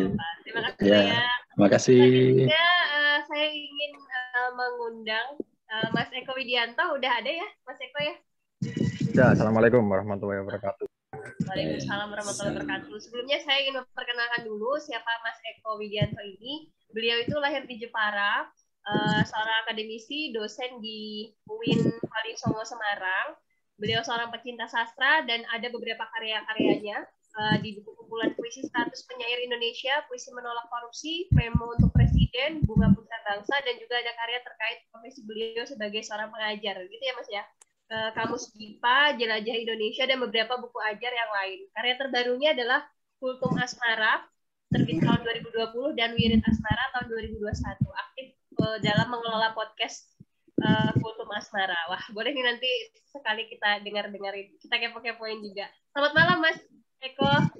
Selamat malam. Assalamualaikum, teman-teman. Waalaikumsalam warahmatullahi wabarakatuh. Nah, jadi uh, kita uh, ini ya, Mas Eko ini nanti uh, akan kita minta membaca membaca Kaputu dari sisi ini nih, dari sisi personalnya Kaputu dari karya-karya beliau. Nah, terlebih uh, Mas Eko ini kan juga seorang yang berkecimpung di dunia sastra ya, Mas ya, dan pendidikan bahasa juga gitu kan. Nah, kebetulan uh, sependek pengetahuan saya, Kaputu itu juga seorang pengajar gitu. Meskipun yang diajar itu beda dengan yang dengan yang uh, sastra dia gelutin jadi belajar apa ngajarnya tuh di luar sastra jadi dunia perpajakan nah ketika membaca karya beliau nih uh, udah membacanya terus apa sih yang tertangkap dari seorang Mas Eko Widianto uh, mungkin bisa diceritakan kepada kami deskripsikan gambarannya silakan Mas Eko Baik, terima kasih. Uh, sekali lagi selamat malam teman-teman. Uh, salam sejahtera untuk kita. Mohon izin, Mbak Ayu, terima kasih sudah memperkenalkan saya kepada teman-teman. Karena tentu saja saya adalah orang asing. Kalau Mas Dimas tadi menceritakan Kang Putu ini alien begitu, saya lebih alien di acara ini. Semoga tidak mengurangi esensi teman-teman yang sudah membaca uh, Mas Nugroho Putu dengan sangat baik karena punya pengalaman panjang dan juga uh, perjalanan spiritual bersama-sama, komunitas yang sama. Uh, saya tentu saja ingin membaca seorang Nugroho Putu dari luar. Karena jujur uh, saya baru bersinggungan ya, secara langsung dengan Mas Putu juga baru malam ini. Karena uh, barangkali saya mengenal beliau melalui Mas Lutfi yang ada di sini juga. Karena beberapa waktu yang lalu saya ngisi di acara ini juga di acara Kopip membahas tentang uh, puisi dan podcast dan akhirnya saya bisa bergabung kembali di acara yang uh, se seirama gitu. Ini sebuah uh, keberuntungan dan juga uh, keistimewaan bagi saya dan saya sangat berterima kasih kepada teman-teman. Nah, membincang soal buku mungkin kita hanya suara saya terdengar dengan baik ya, Mbak Ayu dan teman-teman. Terdengar, terdengar. Ya, membincang soal buku karya Nugroho Putu ini yang ketiga barangkali tadi disebut teman-teman uh, berjudul mungkin kita hanya. Ini saya rasa nggak cukup kalau hanya diberi waktu 10 menit apalagi dengan tagihan menampilkan sebuah karya. Nah, ini repot sekali. Tapi saya coba untuk merangkum beberapa pandangan penting uh, yang saya tangkap dari luar ya. Kalau teman-teman tadi membaca banyak seorang uh, tuan penyair Nugroho Putu dari dalam saya ingin membaca dari luar uh, melalui media buku ini. Uh, mohon maaf juga saya tidak menyiapkan PowerPoint karena seperti yang dikatakan oleh Rocky Gerung kalau orang yang menggunakan PowerPoint itu orang yang tidak punya power dan tidak punya poin. Jadi oh. tidak perlu sepertinya menggunakan PowerPoint. Gitu. Apalagi uh, konsep malam ini kita bincang-bincang, bincang-bincang puisi, bincang-bincang punya uh, Mas Putu. Yang menarik dari acara ini terlebih dahulu perlu saya ulas adalah uh, acara ini bertajuk membaca Nugroho Putu, bukan membedah uh, karya Nugroho Putu. Saya lebih tertarik membaca daripada membedah karena ketika kita membaca yang kita lakukan adalah menginterpretasi dan juga menemukan makna yang ada di dalam, menangkap makna yang ada di dalam Nugroho Putu dan karya-karyanya. Sementara kalau membedah itu tugas uh, apa ya tugas dokter bedah kan seharusnya bukan tugas seorang penikmat sastra. Nah, dari uh, buku ini, pertama saya ingin lihat dari anatomi Kalau kalau saya ingin uh, menikmati buku ini terlebih dahulu, tentu saja saya ingin melihat dari anatomi buku ini, karena secara anatomi buku ini layaknya buku kumpulan puisi yang lain. Artinya uh, secara ukuran, kemudian secara bentuk dan lain sebagainya, kita tahu bahwa ini adalah buku sastra, teks sastra dan puisi langsung begitu. Ya, karena secara ukuran ini seperti karya-karya uh, buku-buku yang ada di Gramedia dan lain sebagainya yang memuat puisi atau kumpulan puisi. Seperti bukunya Joko Pinurbo dan lain-lain. Tapi secara jumlah halaman, saya rasa, uh, menurut hemat saya, secara jumlah halaman ini termasuk buku yang uh, cukup gemuk dan cukup membuat pembaca Indonesia kenyang. Karena kalau kita lihat bersama, buku ini jumlahnya memuat sekitar 188 halaman. Jadi kalau melihat kelas pembaca Indonesia, mohon maaf, uh, biasanya buku puisi yang ideal adalah buku puisi yang uh, berkisar 100 sampai paling tidak 130 halaman lah.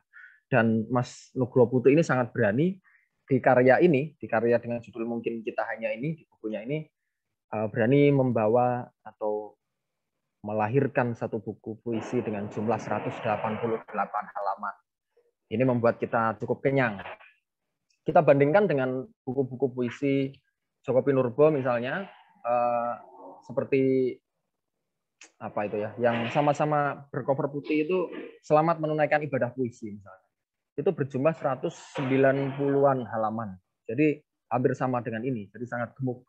Berbeda dengan buku-buku puisi yang lain yang beredar barangkali uh, lebih lebih uh, apa ya berjumlah halaman lebih sedikit daripada ini.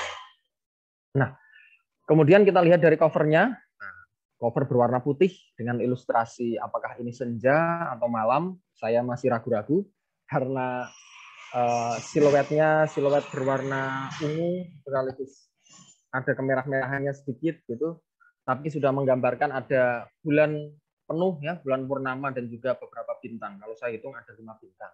Kenapa lima? Nah ini bisa kita tanyakan nanti. Mengapa lima bintang? Ya benar, hanya lima ini. Kemudian ada sentuhan siluet ini ya apa tiang listrik ini menandakan sebuah uh, kehidupan kalau menurut saya kehidupan dan ada pertautan antara modernitas dengan alam karena uh, sepertinya Mas Putu juga banyak sekali berbicara tentang senja berbicara tentang kepiluan dan lain-lain barangkali ini menggambarkan puisi-puisi yang ada di dalamnya kalau kita belum masuk ke dalam. Nah, yang menarik juga dalam buku ini adalah Mas Putu berani sekali melahirkan buku puisi tanpa daftar isi dan tanpa pengantar. Ini menjadi satu keistimewaan menurut saya. Ah, mengapa demikian? Karena si tuan penyair ini, Mas Putu ini, menunjukkan kemerdekaan secara paripurna sebagai seorang penulis. Mengapa menjadi merdeka secara paripurna? Karena tuan penyair ini berani memberikan kebebasan yang maksimal bagi pembaca kebebasan untuk menikmati karyanya secara maksimal. Dia tidak kemudian menciptakan ruang-ruang pakem yang ada di dalam bukunya melalui daftar isi misalnya atau melalui pengantar. Ya, apalagi kalau kita lihat secara latar belakang, beliau ini adalah seorang ASN dan di Kementerian Keuangan, tentu saja secara relasi eh, hubungan dengan eh, orang lain atau penyair-penyair lain tentu saja pasti punya arah ke sana punya punya konektivitas ke sana. Dan kalau tadi disinggung oleh Mas Mois juga bahwa Mas Putu ini sangat aktif bergabung di komunitas-komunitas sastra tentu saja untuk mendapatkan pengantar atau mendapatkan semacam kalimat testimoni itu sangat mudah. Tapi ternyata uh, si tuan penyair ini justru me meniadakan itu ya, uh, meninggalkan itu karena uh, testimoni, kemudian prolog atau pengantar, barangkali bisa menjadi belenggu atau menjadi sebuah tembok besar yang menghalangi pembaca untuk menginterpretasi secara merdeka karyanya. Jadi saya sangat mengapresiasi keberanian itu.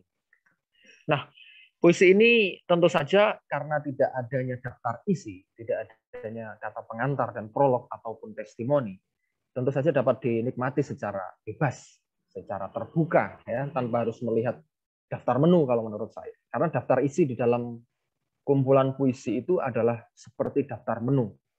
Berbeda dengan novel, berbeda dengan cerpen, ketika kita membaca harus mengikuti strukturnya, mulai dari orientasi, kemudian konflik, resolusi. Tapi kalau puisi, kita kan bisa secara bebas, mau menikmati yang mana dulu. Mau dari yang paling belakang dulu, mau dari tengah ke belakang ke depan, atau dari depan ke tengah ke belakang, bebas sekali. Nah, adanya daftar isi itu menjadi sebuah menu daftar menu makanan.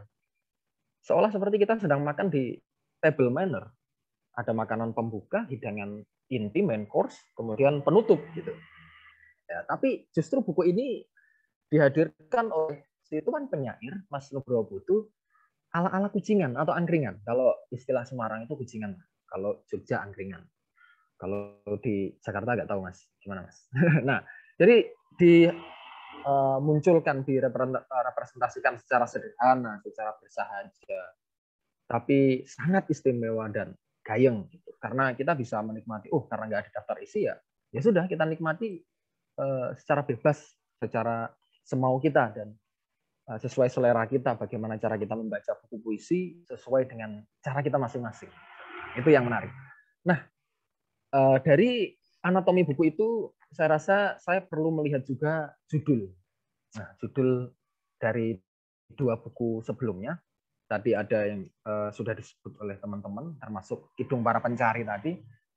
Buku ini saya rasa menjadi istimewa karena mengangkat satu frasa yang unik kalau secara kebahasaan.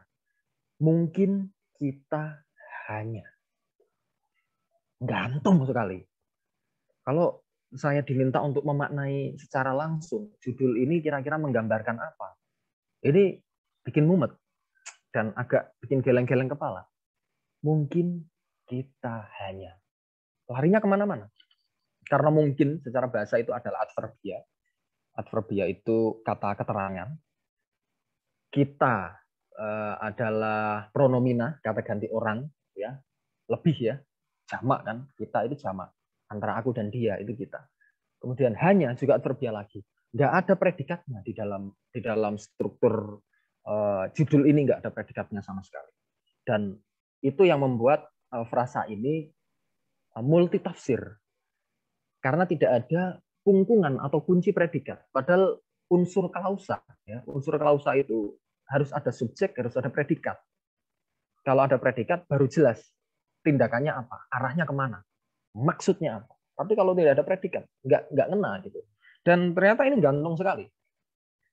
Oleh karena itu, Eh, mungkin kita hanya bisa kita maknai panjang kali lebar. Dan kembali lagi ke judul, mungkin kita hanya, saya kemudian mencoba mencari-cari apakah ada puisi di dalam buku ini dengan judul mungkin kita hanya. Dan ternyata eh, saya temukan di dalam buku ini, nah kebetulan ada di eh, halaman berapa ya? Halaman 10 kalau tidak salah. Benar, halaman 10 sampai dengan halaman 11 saya eh, menilai bahwa secara tipografi puisi ini diletakkan di halaman 10 itu ada di fase-fase awal buku. Jadi saya berani bertaruh bahwa puisi ini istimewa dan puisi ini spesial. Ini tidak diletakkan di tengah-tengah bahkan di akhir, tapi justru di awal. Nah, di fase awal buku ini kalau kita bagi buku ini menjadi tiga bagian, di halaman 10 sampai 11 ini masih sangat awal. Tapi untuk me, apa ya, memberikan tirai tentu saja ini tidak akan diletakkan di dalam halaman pertama bahkan karena akan menjadi uh, tidak istimewa bagi para pembacanya. Nah, di halaman 10 sampai 11 ini puisi ini saya rasa uh, menjadi sesuatu yang berani dan sembrono. Mengapa?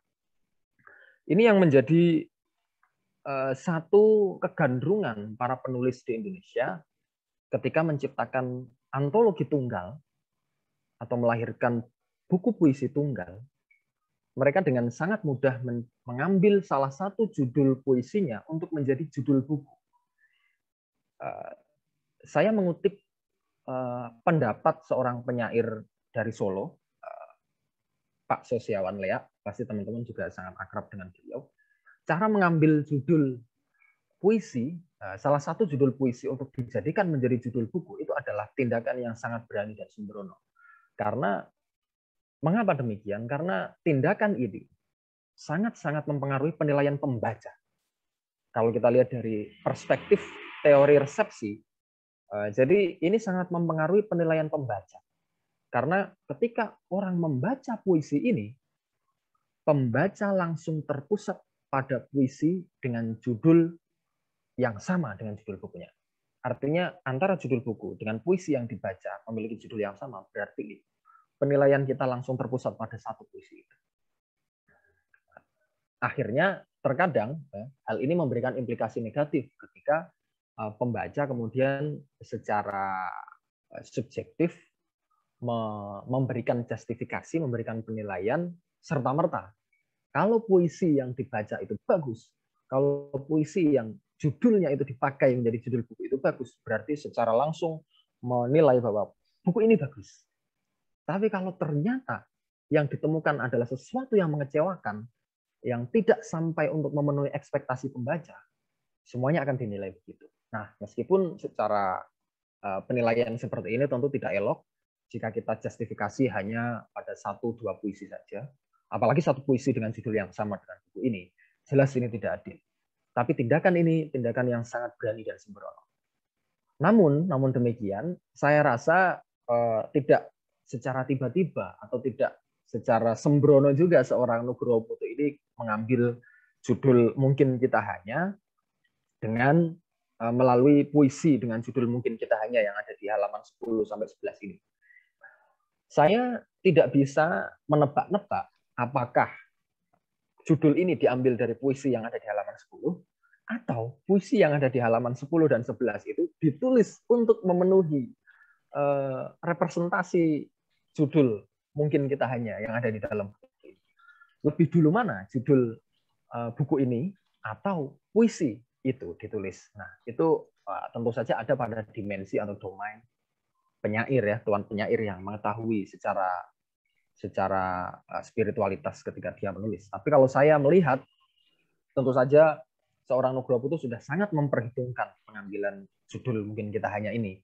Karena ketika saya membaca buku ini, buku ini baru hadir beberapa hari di meja kerja saya di UIN Wali Songo Semarang. Tiba-tiba saya mendapatkan paket buku dengan tanda tangan Nugroho Putu. Selamat, selamat menikmati nutrisi puisi, semoga menginspirasi. Nah, dari judul ini saya teringat dengan pemikir yang besar di Prancis ya, pemikir Jerman sebenarnya yang bernama Hans Robert Jauss. Teman-teman pasti juga uh, akrab dengan beliau tentu saja. Beliau pernah eksis di University of Constance, Jerman sebagai seorang pakar sejarah sastra kalau tidak salah. Nah, dengan teorinya uh, yang bernama horizon harapan. Nah, horizon harapan ini ada pada domain teori resepsi sastra kalau kita ngobrol tentang teori sastra. Jadi uh, teori yang menjadi jembatan antara pandangan romantisme dan pandangan formalis Rusia. Kalau romantisme melihat karya sastra murni dari pengarangnya, kalau pengarangnya keren ya karyanya pasti keren. Kalau pengarangnya eh, pendatang baru ya nanti dulu lah. Itu pandangan romantisme. Sementara formalis Rusia kan melawan itu, mendobrak itu bahwa kalau kita menilai karya sastra ya kita fokus pada teksnya. Kita tiadakan eh, penulisnya atau pengarangnya. Nah, Eh, Hans Robert Jauss ini menjadi jembatan antara dua pandangan itu yang kemudian eh, salah satu pemikirannya adalah horizon harapan. Nah, horizon harapan ini adalah hmm, bagaimana sebuah karya sastra ini menciptakan sebuah ruang kosong yang luas untuk para pembaca mengimajinerkan, ya, mengimajinasikan pemikiran-pemikirannya, menciptakan ekspektasi-ekspektasinya terhadap karya sastra yang dihadapi. Dan judul ini memberikan ruang yang sangat luas bagi pembaca untuk menyusun, mengaitkan, dan menautkan beragam persepsi atas harapan-harapannya pada karya Nugroho itu. Nah, itu yang saya rasakan. Jadi langsung ketika saya membaca judul ini, saya langsung teringat dengan Hans Robert Jauss. Wah, ini luar biasa. Karena tidak semua penyair, tidak semua penulis puisi bisa menciptakan eh, horizon harapan melalui judul bukunya tentu saja. Dan horizon harapan ini tentu dipengaruhi oleh pengalaman pembaca atas dirinya sendiri, apabila dia tidak mengenal penulis secara langsung misalnya, maupun jejak spiritual dengan sang penulis. Uh, tentu saja horizon harapan atau ekspektasi-ekspektasi ketika saya membaca buku ini dengan ekspektasi yang dihasilkan oleh uh, Mas Mois tadi misalnya atau Mas Dimas akan berbeda karena uh, kedekatan saya dengan penulis berbeda dengan beliau-beliau. Nah, of course pasti berbeda. Nah, itulah yang menarik dari judul buku. Nah, selanjutnya yang yang ingin saya ceritakan, eh, saya masih ada waktu nggak, Mbak? Mas tinggal dua menit lagi. Oke, siap. Nah, jadi masih ada dua menit. Saya akan rangkum lagi. Nah, yang membuat saya kagum adalah tuan penyair ini sangat detail, sangat detail dalam ngopeni karyanya, dalam dalam tanda kutip ngopeni itu apa ya, merawat karyanya. Karena hampir setiap uh, karya ya, saya pastikan di semua jejak puisinya ini ada jejak mongsonya, ada jejak waktunya, bahkan uh, tempat dan waktu proses kreatifnya itu terdata dengan baik. Kalau kita lihat, pasti ada tanggal penulisan, tanggal penulisan, bahkan tempat penulisan. Nah, ini sangat istimewa, terutama bagi para pengkaji sosiologi sastra misalnya. Kalau buku ini dilempar ke eh, jurusan-jurusan uh, sastra Indonesia, sastra Inggris dan sebagainya, ini sangat memanjakan para peneliti uh, yang menggunakan pendekatan sosiologi sastra. Karena bisa dikaitkan dengan peristiwa kelahiran tiap puisi. Nah, hal yang membuat saya kagum kedua adalah uh, dari puisi-puisi Nugroho Putu ini, secara umum ya, juga mengingatkan saya terhadap pandangan keren Profesor Sastra kenamaan di Indonesia, yaitu Prof. Suminto Asayuti. Beliau adalah guru besar sastra dari Universitas Negeri Yogyakarta yang pernah mengatakan begini, dalam sebuah seminar-seminar selalu beliau mengatakan begini, a good imagination should be based on reality. Imajinasi yang baik ya, imajinasi yang keren gitu, selalu berdasar pada realitas. Nah, ini berbeda dengan mohon maaf teman-teman yang sekarang baru mulai menulis gitu, penulis-penulis pemula dalam tanda kutip yang kini sering asal pakai kata. Biasanya kalau menemukan kata-kata indah misalnya di internet, di Instagram, di Facebook, oh ada kata-kata dari yang diserap dari sang sekerta misalnya. Oh, katanya keren ya, kita pakai jadi puisi lah. Nah, tapi dia tidak meramu konflik, tidak meramu plot dalam puisi. Akhirnya apa yang yang terjadi? hanya tumpukan-tumpukan kata-kata indah tanpa ada makna di sana, tanpa ada konflik. Padahal sejatinya kekuatan puisi itu tidak hanya sekadar pada kenikmatan kita menggunakan kata-kata yang sulit dipahami, tapi justru adalah kita melihat sebuah konflik yang diwujudkan dari kepadatan kata. Kata-katanya padat, kata-katanya singkat, tapi kita bisa meramu konflik yang luar biasa, ada plot di sana. Dan saya rasa eh, Mas Nugroho Putu ini sebagai tuan penyair yang ada di dalam mungkin kita hanya sangat berhasil untuk melakukan itu. Nah, Mas Nugroho Putu ini juga banyak bicara tentang pertautan dua atau lebih tokoh yang berdampingan tapi bersekat jarak. Nah, ini pilu sekali. Jadi tergambar pada puisi-puisi seperti mungkin kita hanya kemudian kita dua nada di halaman berapa itu 172 kalau tidak salah, kemudian Teko dan lain-lain. Selain itu juga banyak berbicara tentang dunia pewayangan ternyata seperti Rahwana dan Sita, Hanuman Obong, Kidung Asmaradana, dan lain-lain. Juga berbicara tentang keislaman. Ini uh, luas sekali pandangan seorang penulis ini ternyata. Selain ngobrol tentang kebucinan, ngobrol tentang uh, kepiluan hati yang mendalam, juga ngobrol tentang wayang, ngobrol tentang dunia keislaman. Misalnya Eh, beliau ini menulis kisah Ibrahim yang terinspirasi, terinspirasi dari khutbah Jumat. Ini kan menandakan sebuah religi, eh, religiositas tuan penyair yang sangat agung. Gitu. Nah, ada satu puisi yang istimewa yang saya temukan di halaman 151. Jadi di apotek rasa. Karena ini waktunya sangat singkat, jadi saya nggak jadi baca.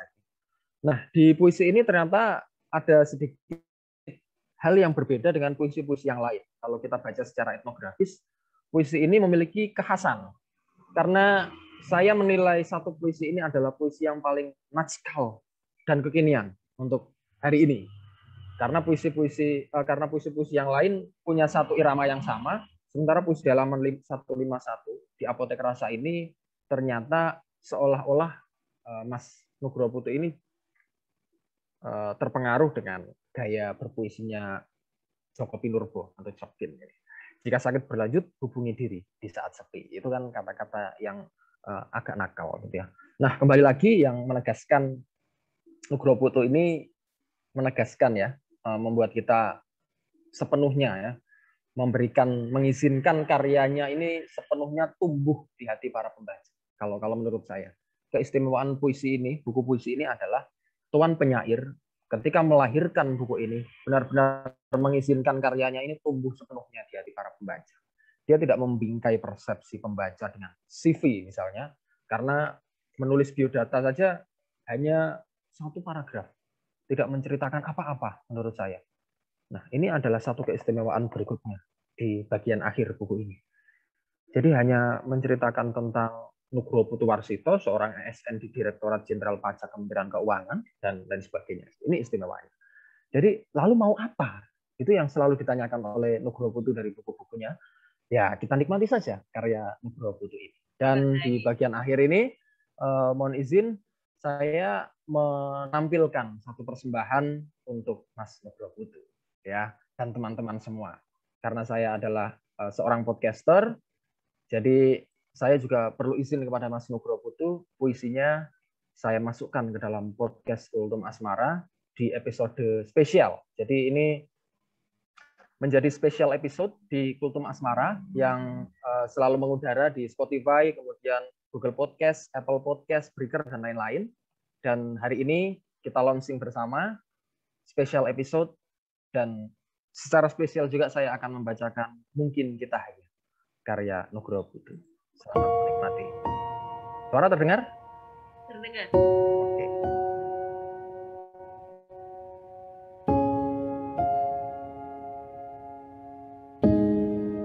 Mungkin kita hanya Nugroho Putu.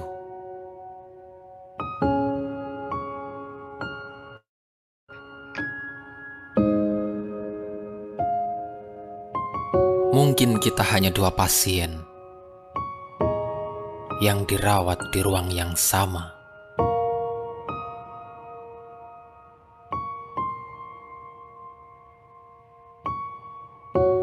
Saling cerita tentang sejarah luka masing-masing. Lukamu oleh rindu, lukaku oleh sepi. Apalah beda? Musik sedih dimainkan pengiring, dan drama ini terus berlangsung. Lukamu perih, lukaku sedih. Bermuara bersama dalam ceria yang pura-pura. Kita pandai bercanda dengan peran, menikmati setiap detiknya. Bagaimanapun, kematian bisa datang serupa nyanyian.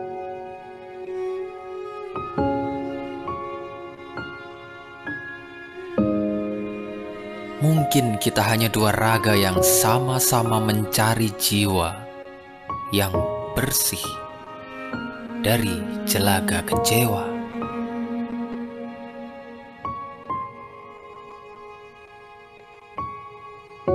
Penuh nada riang dan canda tawa, walau ada luka lama juga air mata. Karena pada akhirnya tetap ada nyeri, tetap ada penyesalan. Tak semua memang bisa sesuai duga, terlebih jika itu perlawanan atas kejujuran.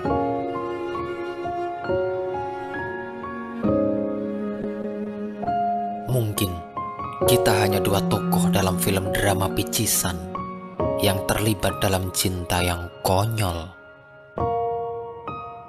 Percakapan kita hanya gabungan antara rayu yang kemayu dan naif yang kampungan.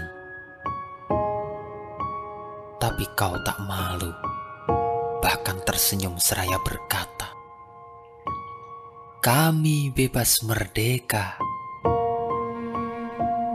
Lalu mau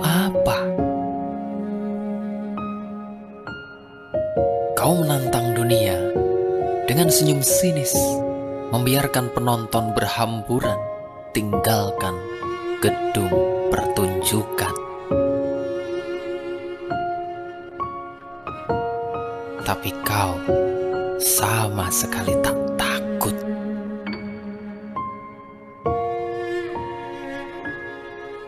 Mungkin kita hanya dua titik yang berdekatan. Titik yang berarti akhir kalimat, titik yang bermakna henti. Maka apa bahagianya dekat jika tak lagi ada langkah? Terayun-ayun saja di ruang kosong bernama sela antara yang suwung. Bukan jeda yang sementara. Kita memang hanya dua luka.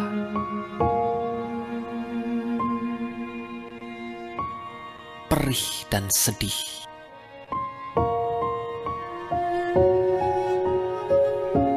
Mau apa lagi?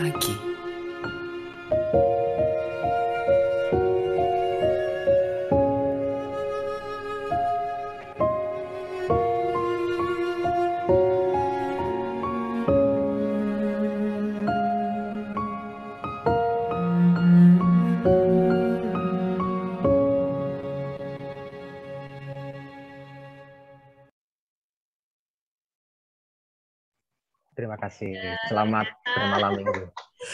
Terima kasih banyak Terima Mas kasih, Eko. Mas. Ini saya merinding sendirian di kosan saya. Mbak Ayu, kita foto dulu ya, Mbak Ayu. Keren banget, keren banget. Mbak Ayu, Oh, kita iya. foto dulu ya. Oh, Iya, iya, baik. Silahkan. Kita mau foto-foto bareng dulu ya. Jadi teman-teman bisa di-on kan kameranya, videonya. Oke, saya hitung ya. Satu, dua, Coba ada yang nyala yang lain nih. Nyalain dong videonya, teman-teman. Wah, kameraku jelek ya. senyum, senyum, senyum, yuk. Oke, siap. Pura-pura bahagia. Loh, nggak boleh, bahagia beneran lah Pak. Ini ada dalam palsu Ya. apa tadinya? Ke bukunya ya. Boleh. Satu, dua, satu, Oke. dua, tiga. Makasih loh Mas Eko, keren banget podcastnya. Siap. Nah, kalau mau mengunjungi Ya. nanti saya bagikan Pasti, pasti nanti. Samperin langsung. Iya, terima kasih banyak Mbak Iis sudah eh, mengambil gambar kita sama-sama. Ya. Eh, terima kasih juga Mas Eko dan teman-teman bincang lain udah membaca Kaputu dari berbagai berbagai sisi ya. Jadi kita punya banyak ini banget nih, banyak apa namanya? Oh ternyata begitu ya Kaputu ya. Oh ternyata begini ya Kaputu ya dari seorang birokrat ternyata begini ya. Jadi begitu banyak ini ya. Eh, ini saya mau bacakan dulu satu pertanyaan nanti sebelum nanti eh, Kaputu harus merespon semua nih. Tadi sudah ada beberapa poin yang saya catat. Nanti eh, tinggal kita mendengar respon-respon dari Kaputu atas eh, pembacaan dari teman-teman tadi. Sebelumnya saya ini ingin membacakan dulu pertanyaan tadi dari Mbak Rahma ya. Kalau nggak salah sebentar ya. Nih Mbak Rahma bertanya nih, tanya Om Putu apa sih hal yang sangat mendasar lahir, mendasari lahirnya puisi mungkin ditanya. Mungkin langsung dijawab aja Kak, Kak Putu silahkan. Gitu ya. Perlu dijawab beneran apa enggak nih Mas Eko? Kalau secara tadi oh, sosiologi. Sih, yang jelas yang jelas gini ya mungkin benar banget saya saya terima kasih sekali Mas Eko tadi benar-benar mencerahkan eh, banyak hal ya tentang terkait eh, secara akademis secara teori seperti apa eh, sebuah puisi itu terlahir. Eh, tapi memang proses produksi puisi seorang putu memang benar dari dari dari kejadian di sekitar gitu. dari kejadian kejadian sekitar. Kalau pertanyaan Mbak Rahma terkait puisi mungkin kita hanya memang sebenarnya agak agak apa ya agak carut marut ya. Irisannya banyak ya. Yang jelas memang ada kepiluan yang terlahir karena jarak ya Ya, itu jelas karena mungkin sudah dibaca juga oleh Mas Dimas. Eh, saya tulis di Temanggung dan itu artinya saya sedang berjarak dengan keluarga gitu. Keluarga di Bekasi jadi saya di Temanggung. Satu itu. Yang kedua memang ada ada beberapa pintu lain di luar kasunyatan. Kalau bahasa itu kasunyatan. Kenyataan yang saya jalani itu kan itu satu hal gitu. Tapi ada pintu lain dari eh, bahan baku karya karya ya bagi saya bagi bagi saya pertama film yang saya tonton film yang saya tonton tentu itu kan ada nuansa-nuansa politiknya ya. kemudian perbincangan dengan eh, teman-teman yang bisa jadi ada yang curhat dan sebagainya yang itu biasanya sangat mempengaruhi. Biasanya saya ikut masuk ke dalam eh, apa kehidupan mereka lalu saya angkat. Jadi memang kalau eh, kalau apa namanya di puisi mungkin kita hanya itu ya tidak sepenuhnya itu tentang saya dan eh, keluarga saja kan. Karena di situ ada ada ruang sela yang sangat panjang begitu ya. Dan memang bisa jadi itu itu eh, itu kontemplasi saya. Mungkin itu kali ya untuk Mbak Rahma itu aja kali Mbak. Itu pintunya banyak pintunya banyak.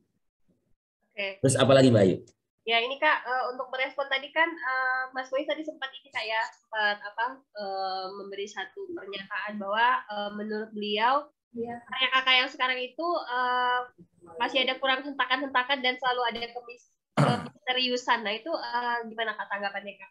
Iya, memang benar sih. Eh, itu kelemahan kelemahan saya dalam berkarya karena mungkin memang beberapa terjadi dengan spontan. Ya ini sebenarnya kan ini saya pernah mendapatkan eh, saran serius dari seorang di komunitas. Eh, Mas Dimas paham, tapi nggak usah saya sebutkan namanya ya Mas ya. Dari komunitas saya di awal-awal waktu saya menjadi mitra liur di komunitas sastra Kementerian Keuangan. Mitra liur karena saya me- memberondong puisi di setiap hari bisa tiga atau lima puisi dalam satu satu kali satu kali naik bis itu aja bisa tiga atau Eh, ditegur sama seorang teman, Mas sebuah karya itu lebih baik mengalami pengendapan. Dan sebenarnya justru kalau pakai teori yang seperti disampaikan Mas Mois tadi ada benar sekali ya bahwa kita perlu bikin plot, bikin temanya ke mana, lalu kita titik hentakannya di mana gitu. Nah karena karena saya menulis dengan cara yang tadi itu melalui eh, spontan ya, memang akhirnya ketika diingatkan untuk melakukan endapan, ya saya melakukan endapan, tapi endapannya itu juga sering gitu mas, mas Eko ya ini nanti mungkin kalau ada masukan lain boleh lah. Saya itu ada ruang-ruang ruang-ruang ruang-ruang luang dalam saya yang saya gunakan sebagai endapan, biasanya mengumpulkan apa yang saya tampung. gitu. Jadi dalam keseharian itu saya dengar YouTube, saya dengar obrolan orang, saya nonton film, saya mengalami hal-hal yang puitik gitu. Lalu nanti ketika ada ruang-ruang ruang-ruang eh, endapan itu, misalnya eh, sebenarnya kurang bagus nih ya. Eh, habis sholat kadang-kadang habis sholat itu harusnya zikir ya. Saya itu biasanya itu ruang proses pengendapan itu. Karena kan diem gini kan mengendap. Atau di, di di kamar kecil gitu itu ruang-ruang pengendapan. Atau menjelang tidur. Nah, ketika pengendapan itu lah baru baru langsung saya tuliskan. Nah, tetap saja eh, terlewat dari hentakan-hentakan tadi mungkin. Ini masukan yang bagus sekali sih. Saya jadi paham antara tadi yang 8 detik ya. Dan itu benar banget ya, 8 detik di awal ya. Makasih Mas Mois. Insya Allah nanti di buku berikutnya saya akan perhatikan hentakan-hentakan itu. Mbak Ayu, mohon izin bisa Ya. tanya nama Mas Putu? Oh boleh boleh silakan. Mbak Putu. ah. Baiklah. Ini ya. eh, Mas Nugroho. Ini Umar Pak. dari Siap, Bekasi. Umar. Eh, kenal lagi nih, ketemu lagi nih kita nih. Siap. Ah, Nah, ini kita berawal ya, berawal dari tempo hari kita eh, saya eh, bulan Agustus kalau nggak salah tentang milenial, sastra milenial. Ya, yang bercimbung di situ. Nah, bulan Oktober kemarin saya mendapat sebuah naskah Turki, naskah biasa. Naskah drama teater Turki. Ya, drama Turki. Nah, eh, judulnya mungkin udah udah kita dikenalkan di Malik Sandal. Nah, terus kita mau mementaskan ceritanya. Nah, kita mendapatkan arahan-arahan dari wali kota apa wakil wali kota Bekasi. Saya juga tinggal di Bekasi kan, putra ini kan. Siap. Terus ke ini, wah ini harus hari ke sini ini harus ada unsur-unsur ini, unsur ini semuanya. Ini menyangkut seni budaya.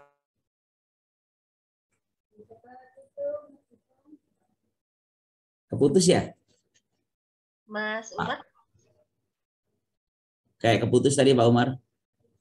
eh, termute, termute. Di unmute dulu. Lanjut.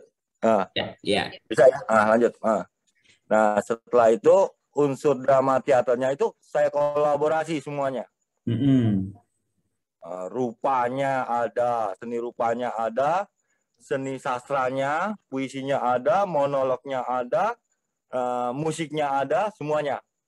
Nah ini kita eh, lari lagi ke Parvi. Nah kebetulan disambut oleh Parvi, Ketua Parvi Pusat, Pak Budi, Wah, langsung dikasih, wah ini yang pegang ini eh, Pak Ismail Sopensani, nama Pak Bejo, orang Bekasi juga ternyata orang Bekasi. Nah ini kita Pak Mas Putu nih Bekasi.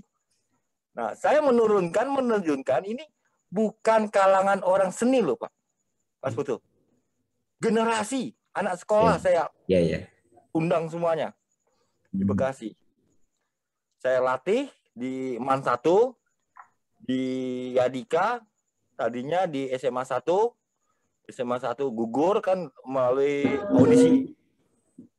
Semuanya melalui audisi udah beberapa latihan, udah kita inikan, terapkan semuanya berjalan. Nah, ini yang saya minta ke Mas Buto, ya. Eh, ayolah kita support sama-sama orang Bekasi. Siap, siap, siap. Nah, itu kan. Ya. Nanti kita eh, kalau bisa kita minta nomor WA-nya, kita ini kan mungkin oke. eh, kemarin kita baru latihan berapa kali dan ini kan menyambut eh, apa? Hari Raya Natal dan ini kan mungkin kita libur. Nanti kita mulai lagi tanggal 8 eh 5, 5 6 sampai tanggal 10. Eh, rencananya kami di tanggal 19 Februari untuk menyambut HUT eh, Kota Bekasi yang ke-25. Nah, Siap, Mas. Putu harus turut. Wes. Harus. Siap, siap. Nah, gitu. Jadi eh, ini kalau Mas Putu juga tinggal di daerah Bekasi juga harus bergabung semuanya. Iya. Saya udah berbagi nomor WA ya Pak Umar. Saya tulis di ruang W, ruang chat. Nanti kita ini deh. Monggo. Oke, kontak. oke. Siap. Kebetulan kasih eh, kebetu- eh, kebetulan juga eh, kita ini kan yang ditunjuk nih eh, sebagai penyelenggara, ketua penyelenggara. Nah, ini makanya ayolah Mas Putu, kita bantu sama-sama. Siap, siap. Ah, Kebetulan anu memang Pak Umar. Ya, Pak. kebetulan memang wakil wali kota itu support sekali ke dunia seni. Saya sebenarnya iya, Pak itu tuh saya dua kali buku saya yang dua pasal yang terbuka dan Kidung Para Pencari itu launching di bersama Pak Wakil, Pak Wakil kami undang juga, Pak Wakil wali kota. Iya. Ya support Insya Allah. Insya Allah, Insya Allah siap bantu Pak. Insya Allah, Insya Allah Pak Putu, Mas Putu, Oke. Pak Trit bermain. Ya. Nah, bermain dalam sama dengan anak sekolah. Wis, mantap, mantap. Itu. Siap. Mas Putu juga harus bermain. Iya. Eh, terima kasih Ayo. Pak Umar. Mungkin karena waktu Oh iya, terima kasih sama-sama. eh, terima kasih, Mas. Putu. Ya. Nanti Iya, iya, eh, mungkin silakan, silakan, secara lanjut. pribadi ya. Iya, iya, iya. Silakan, Terima kasih sekali Iya, Pak silakan Umar. lanjut. Selanjutnya Iya, iya. mungkin saya akan bacakan dulu pertanyaan dari siapa tadi ya. Eh, ini nih dari Inda Intisa. Mau tanya ke Om Putu, bagaimana proses penerbitan bukunya hingga bisa terbit di, di Gramedia? Karena mayoritas penyair akan sulit menembus ke sana. Mungkin singkat ya Kak, bisa dijawab dengan singkat Kak. Silakan Kak. Siap Mas Indra, malu saya ditanya Om Indra ini. Om Ompi. Eh, sebenarnya memang kan ada rencana malam ini kita mengundang teman-teman dari uh, Elek Media. Cuman karena memang eh, belum berhasil kontak ya. Gak apa-apa sih. Tapi kalau teknisnya bagaimana masuk, memang kalau saya dulu kecelakaan sejarah Om Ompi karena eh, sudah agak lama ya dulu saya ada seorang teman eh, dari komunitas sastra Kementerian Keuangan juga, mungkin Mbak Dimas kenal ya, Mbak Lila itu terbit puisinya di Elek Media, kemudian dia ketika ditanya editor dia memberikan nama saya, nama saya terus akhirnya dia editor itu mencari tulisan-tulisan saya di med- med- media sosial. Jadi pertama dia baca-baca yang ada di waktu itu saya di Google Plus ya, terus Google Plus baca terus dia cocok, terus dia eh, ngubungin saya minta tolong kirim naskah puisi. Kayaknya sih karena memang jadi di Gramedia itu kan dulunya dibagi per segmen ya. Jadi dalam Elek Media Komputindo itu sebenarnya tidak ada segmen sastra dulu kalau nggak salah ya. Kemudian per- eh, manajemen Gramedia itu berubah. Sekarang semua grup Gramedia itu semu- eh, punya punya semua segmen gitu, termasuk sastra. Kan kalau dulu kalau salah Grasindo Bapak ya, Gramedia. Nah, akhirnya Elek Media karena belum punya jejaring teman-teman penulis, dan dia terus main colek gitu ya. Nah, tapi kemarin terus saya kontak karena banyak sekali teman-teman dari uh, komunitas yang pengen nyari gimana caranya masuk ke sana ya. Uh, yang di yang disampaikan oleh mereka ini Mas, ada link itu loh di linknya nanti linknya akan saya sampaikan. Saya lupa ya apa ya. Uh, jadi ada ada ada portal khusus memang untuk menampung para penulis yang mengirimkan naskahnya ke Gramedia. Digital publishing nah gitu kalau salah ya. Gramedia digital publishing itu ada mungkin di Google di Google nanti. Kalau nggak nanti saya sampaikan linknya di situ ini kok mas. Jadi ada beberapa teman bahkan keponakan ya atau anaknya teman gitu yang masih kuliah dan dia serius mau itu mau ikut masuk ke Gramedia saya sarankan coba deh kirim ke situ. Kemarin belum lama dari kontak jadi memang walaupun pesannya kan bisa jadi lama ya karena melalui aplikasi ya. Tapi tapi sudah beberapa teman yang saya kenal sudah mulai di mulai dihubungi untuk diterbitkan. Begitu Mas, kalau pintunya sekarang lewat itu. Oke, makasih Kak. Uh, selanjutnya ini uh, mungkin pertanyaan terakhir Kak. Coba saya rangkum saja pertanyaan tadi dari Mbak Meni juga dengan Mbak Mbak Ayu, Mbak Ayu ya? uh, disimpan dulu pertanyaannya. Gimana kalau kita baca puisi? Uh, oh iya iya. Teman-teman yang pengen baca puisi, tamu-tamu kita yang pengen baca puisi, bagaimana Pak Putu? Ya dipersilakan teman-teman ya. ada yang mau membacakan puisi mungkin? Apa Lutfi? yang lain, yang lain mungkin. Ini boleh Om Pi, boleh. Siapa? Bang Indra Intisa itu. Ah, silakan Mas. Mas Indra Intisa. Kalau berkenan. Ya. Atau teman-teman yang lain. Kipujo. Mbak Rahma atau siapa ya? Mas Waluyo atau Mbak Istiqomah, Magelang. Gimana ini? Belum ada pertanyaan lain ya? Ad, kalau belum ada yang mau membaca puisi, saya lanjut ini ya, Mbak Oke, pertanyaan ya? dulu ya. Uh-huh.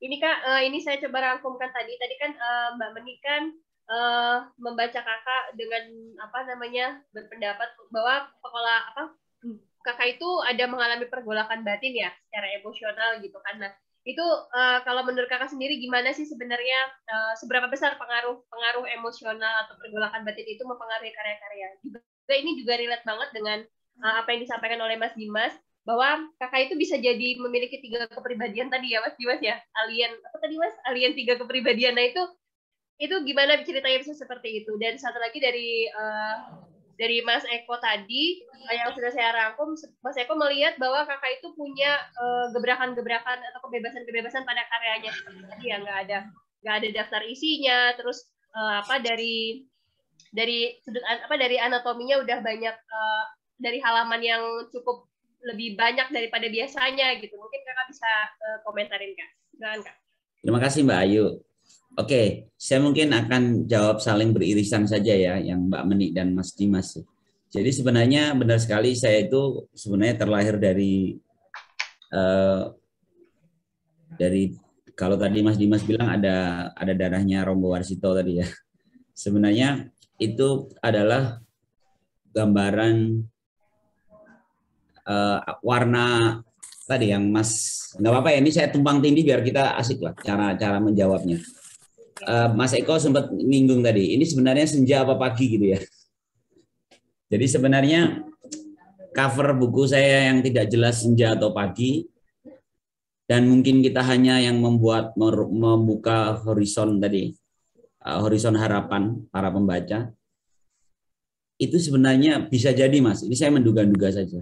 Bisa jadi karena saya terlahir dari paradok. Uh, paradoknya gini, Eh, Ronggo Warsito ini kebetulan malah yang lebih kenal dengan Ronggo Warsito itu Mas Dimas. saya kaget juga setelah saya kan memang memang kalau di silsilah itu ada ada darah ke sana ya. Tapi Mas, Mas Dimas itu malah paham banget betul dengan Ronggo Warsito. Dia baca banyak dan di buku novelnya Geger Satrio Paningit itu termasuk me, me, mengungkap banyak tentang Ronggo Warsito. Nah, Ronggo Warsito ini kan seorang priayi yang sastrawi. Kan rumit sekali, Mas. Kebayang ya? Seorang priayi ya, yang tiba-tiba dia punya darah seni gitu. Itu pasti dia paradoks sekali dalam kehidupannya. Begitu juga kami di keluarga saya itu dulu masih ingat saya punya eyang kakung yang sangat sangat apa ya keraton banget gitu sangat feodal kami makan di meja makan itu dengan sendok terantuk di piring itu bisa disuruh pindah ke dapur tiga kali sendok terantuk di piring itu pindah ke dapur sementara saya lahir dari seorang ayah yang menikahi ibu saya yang keturunan ningrat itu dan bapak saya ini lebih liar ya. Dia pesisiran Kutoarjo dia sangat enjoy makan kakinya diangkat dan sebagainya. Dan itu paradok lagi kan? Paradok. Sehingga paradok kemudian yang yang lahir adalah saya lahir dari dunia pesantren. Saya enam tahun di pesantren, jadi mungkin jawaban Mas Eko ya mengapa ada Jumat jadi puisi gitu ya, khotbah Jumat jadi puisi. Saya sebenarnya latar belakang pesantren, enam tahun di pesantren, tapi saya bandel ya, dan saya suka teatrikal, saya teater. Jadi sehingga itu paradok lagi. Nah paradok itu menjadi semakin lengkap, paripurna ketika ternyata saya masuk STAN, sekolah akademik yang sekolah apa uh, ikatan dinas yang mau nggak mau saya jadi PNS dan saya bertemu Mas Bimas tadi dia mungkin merasakan kealianan saya karena memang saya paradoks sekali. Nah paradok yang lain adalah Mbak Meni tahu saya bertemu dengan Mbak Meni dalam satu organisasi yang yang awalnya menarik sekali ya kita mencari apa uh, pemikirannya bagus sekali tapi tiba-tiba ternyata kita tersadar bahwa kami itu terbentur dinding kami membangun dinding kami tidak me, kami tidak membangun jembatan, kami membangun dinding. Dan itu kami sadari setelah berapa tahun ya Mbak Meni. Dan itu itu menjadi kelokan tajam lah, kelokan tajam. Itu paradok lagi. Jadi bisa jadi uh, saya lahir dari lari paradok-paradok itu. Sehingga kalau akhirnya uh, kita dua kurva saling terbuka, itu sekalian curhat aja nih. Sebenarnya itu Mbak Meni mungkin paham ya. Ketika saya dulu merasa sangat tertutup, nah kita dua kurva saling terbuka itu kesadaran saya untuk membuka Lalu Kidung para pencari setelah membuka, ternyata saya masih harus nyari-nyari dan belum ketemu juga. Saya masih terus mencari. Nah, sampai dengan di mungkin kita hanya, ternyata cuma segini gitu. Mungkin kita hanya itu kan ketika kita mengintrospeksi diri kita, berarti kita sedang mendefinisikan diri kita. Mendefinisikan itu kan memberikan batasan. Ketika memberikan batasan dan ketemu, kita itu hanya. Ternyata kita itu nggak nggak nggak ada nggak nggak keren sebenarnya kita itu. Makanya kalau Mas Mois bilang saya orang baik itu mungkin salah baca. Saya bukan orang baik-baik sebenarnya. Jadi kita uh, tersadar di situ. Nah kemudian yang mungkin itu juga Mas Eko yang melahirkan buku puisi saya yang aneh tadi ya. Sebenarnya itu melalui beberapa diskusi dengan editor ya. Ini kalau editor hadir sebenarnya tadi bisa cerita ya. Daftar isi itu sebenarnya dari editor. Dia nggak usah mas. Nggak usah pakai daftar isi. Ya udahlah saya kemudian uh, terkait terkait kata pengantar memang sebenarnya lebih pada perasaan aja sih mas. Benar kata mas Eko ya. Ketika kita mengundang orang untuk mentestimoni itu buku kita kan sebenarnya itu dalam rangka bahasa basi kan kita sedang mencoba mengunci lagi membangun dinding lagi dinding untuk para pembaca kita gitu untuk membaca saya seperti pembaca yang itu menurut saya itu kan juga nggak fair ya. Kalau kita mau merdeka se merdeka 100% ya merdeka aja. Jadi memang saya saya nggak ini ya. Kalau Mas Eko baca buku pertama saya lebih parah itu. Di buku halaman pertama tahu-tahu langsung puisi aja gitu. Cuma menerbit. Jadi benar-benar nggak ada ini. Buku kedua saya agak sungkan ada ruang terima kasih ya. Jadi saya terima kasih pada beberapa orang gitu. Tapi saya merasa ketika saya berterima kasih di situ, kayaknya ada yang ketinggalan gitu. Betul nggak sih ketika ada ruang terima kasih, semua orang bisa kita ucapkan. Ya udahlah di buku ketiga saya nggak pakai lagi. Udahlah biarkanlah ini buku ini buku yang buku puisi aja, buku puisi aja.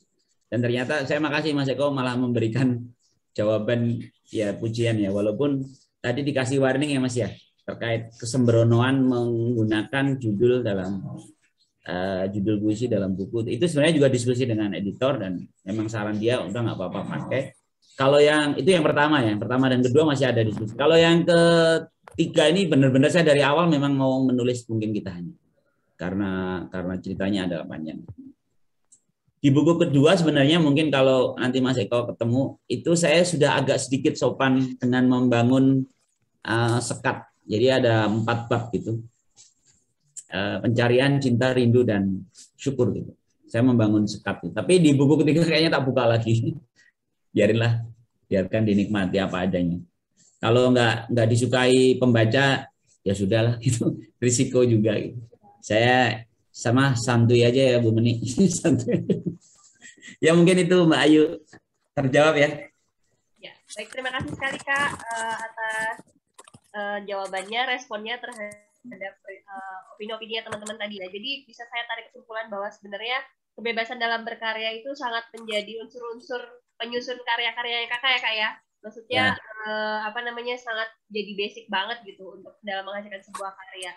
Terus juga kakak juga menganggap bahwa hidup itu dianggap sebagai sebuah proses pemaknaan yang uh, untuk mendefinisikan diri dalam proses yang panjang begitu. Jadi uh, melewati tahapan-tahapan gitu ya. Seperti yang dijelaskan sama Mas Dimas tadi bahwa seorang Nugroho Putuwarto itu ada tiga tahap itu tadi tiga alien itu tadi tahap Nugroho Putu dan Warsito. Jadi luar biasa sekali memang sih. Mudah-mudahan itu bisa ini ya bisa jadi uh, khususnya bagi saya pribadi juga uh, yang baru saja uh, apa bergelut uh, di dalam dunia-dunia seperti dapat insight terutama uh, atas uh, apa yang udah disampaikan teman-teman.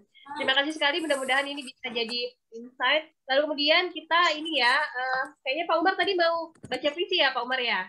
Pak Umar ya, masih stay? Kalau masih ada waktu, Mbak Ayu. Boleh Siap. boleh Pak Umar. Nah, silakan. Ini ya mohon izin semuanya untuk teman-teman. Ya. Ini Umar karya bisa, saya. mohon maaf bisa di ini kameranya Pak supaya ya, Bang Omar. Uh, ini apa uh, di kamera saya bacanya. Oh gitu, oh, iya iya ya, sudah iya. Jadi mohon maaf, uh, mohon maaf ya.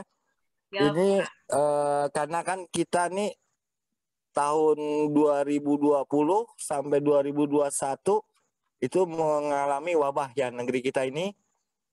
Nah ini kita membacakan ingin membacakan uh, karya lawas sebetulnya. Karya saya sendiri lawas ya. Judulnya sang penguasa.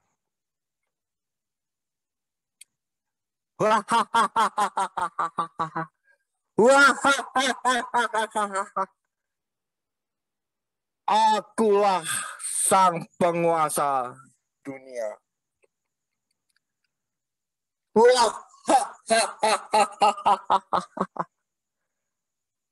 Aku diciptakan oleh manusia. Dan aku disembah oleh mereka para pemburu hasrat. Demi aku, mereka tak berdaya. Menerjang-terjang tanpa peduli siapa yang menghadang. Wah, Wah, Aku diburu tanpa kenal waktu.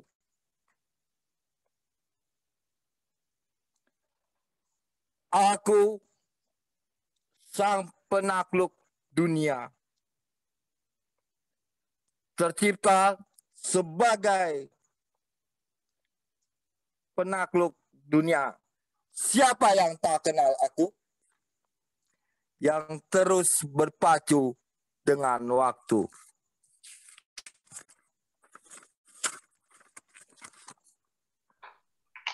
Aku adalah uang sebagai mata pencarian bagi mereka yang diperbudak hasrat dunia. Tubuhku kecil, tetapi Aku sangat besar berarti.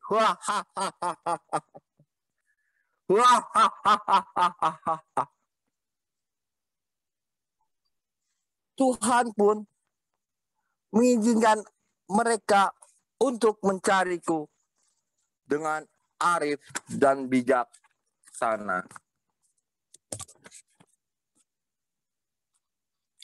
Namun bara api jiwa mereka telah terbakar.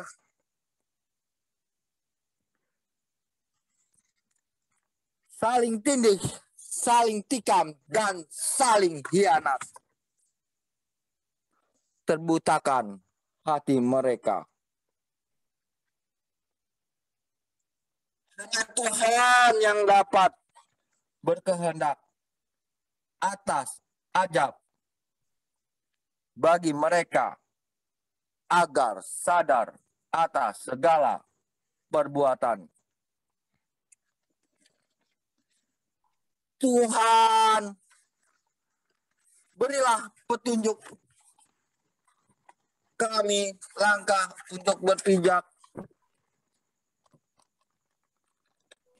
agar hati tak salah memilah dalam rongga waktu berputar. Bekasi 20 Februari 2020. Terima kasih teman-teman semuanya. Mohon maaf. Terima kasih banyak Pak Umar atas pembacaan puisinya. Masih ada teman-teman yang mau baca puisi lagi? Mungkin Mbak Iis mau baca puisi ya? Iya, aku baca ya buat Pak Putu ya. Aku baca. Iya, aku kan ibu rumah tangga yang selalu bacain puisimu, Pak. Oke, oke. Eh, di bukunya Pak Putu yang terbaru, saya ada satu puisi yang saya paling eh, suka, suka sekali dan eh, itu sangat mengena di di hati saya. Jadi saya ingin baca malam ini. Eh, hadiah ya Pak ya, hadiah untuk Pak Putu. Eh, atas kesuksesannya saya ikut senang. Mudah-mudahan suatu saat saya juga bisa eh, tembus Gramedia juga ya. Baik, eh, saya akan membacakan satu puisi yang berjudul tentang senyum. Aku hanya ingin mencatat bagaimana senyum itu terlahir. Adalah bahagia yang bercerita tentang cinta yang terbukti, tentang rindu yang terobati. Aku hanya ingin menangkap bagaimana senyum itu dilukiskan. Adalah terima kasih yang tak terkata, sebab penuhnya syukur dalam jiwa, sebab terendapnya rela yang nyata. Aku hanya ingin tersenyum sebagaimana kau tersenyum. Adalah hari yang dihiasi bunga-bunga tawa, warna-warna bahagia. Temanggung 28 September 2020. Terima kasih tentang banget. Satu kata ya yang saya sangat suka. Sebab terendapnya rela dalam nyata. Karena orang tuh kalau udah pasrah, udah rela itu kan memang hanya bisa tersenyum. Relate ya? Thank you. Makasih ya Pak Putu, puisinya bagus.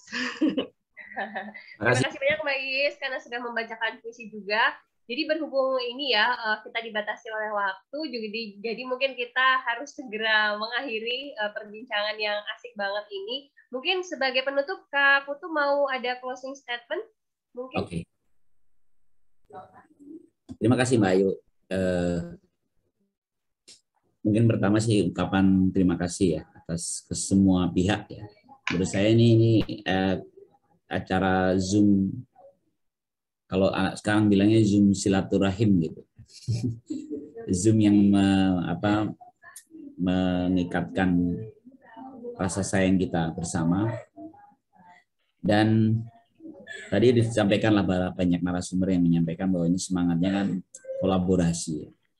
Saatnya kita itu kalau bahasa Mbak Menik tadi tidak membangun dinding, tapi membangun jembatan. Saatnya kita membuka jendela, kata Mbak Menik juga ya. Saat membuka jendela. Di luar sana mungkin ya ada angin, mungkin ada aroma sampah, mungkin ada apa yang nggak enak, tapi nggak itu jauh lebih baik daripada kita di dalam saja, di dalam ruangan. Itu juga yang saya rasakan dalam kita berkomunitas, teman-teman semua ya. Komunitas itu eh, adalah sarana untuk kalau bahasa Mas Dimas tadi kalau kita bisa lakukan bersama akan lebih baik gitu katanya kan. Jadi komunitas itu semangatnya itu. Jadi ketika teman-teman semua merasakan berkumpul bersama kok hasilnya malah justru nggak nyaman, ya berarti saatnya membuka jendela. Saatnya merubuhkan dinding. Bahkan kalau saya ekstrimnya itu merubuhkan mimbar gitu. mimbar itu membawa membuat kita tersekat dengan uh, pendengar kita.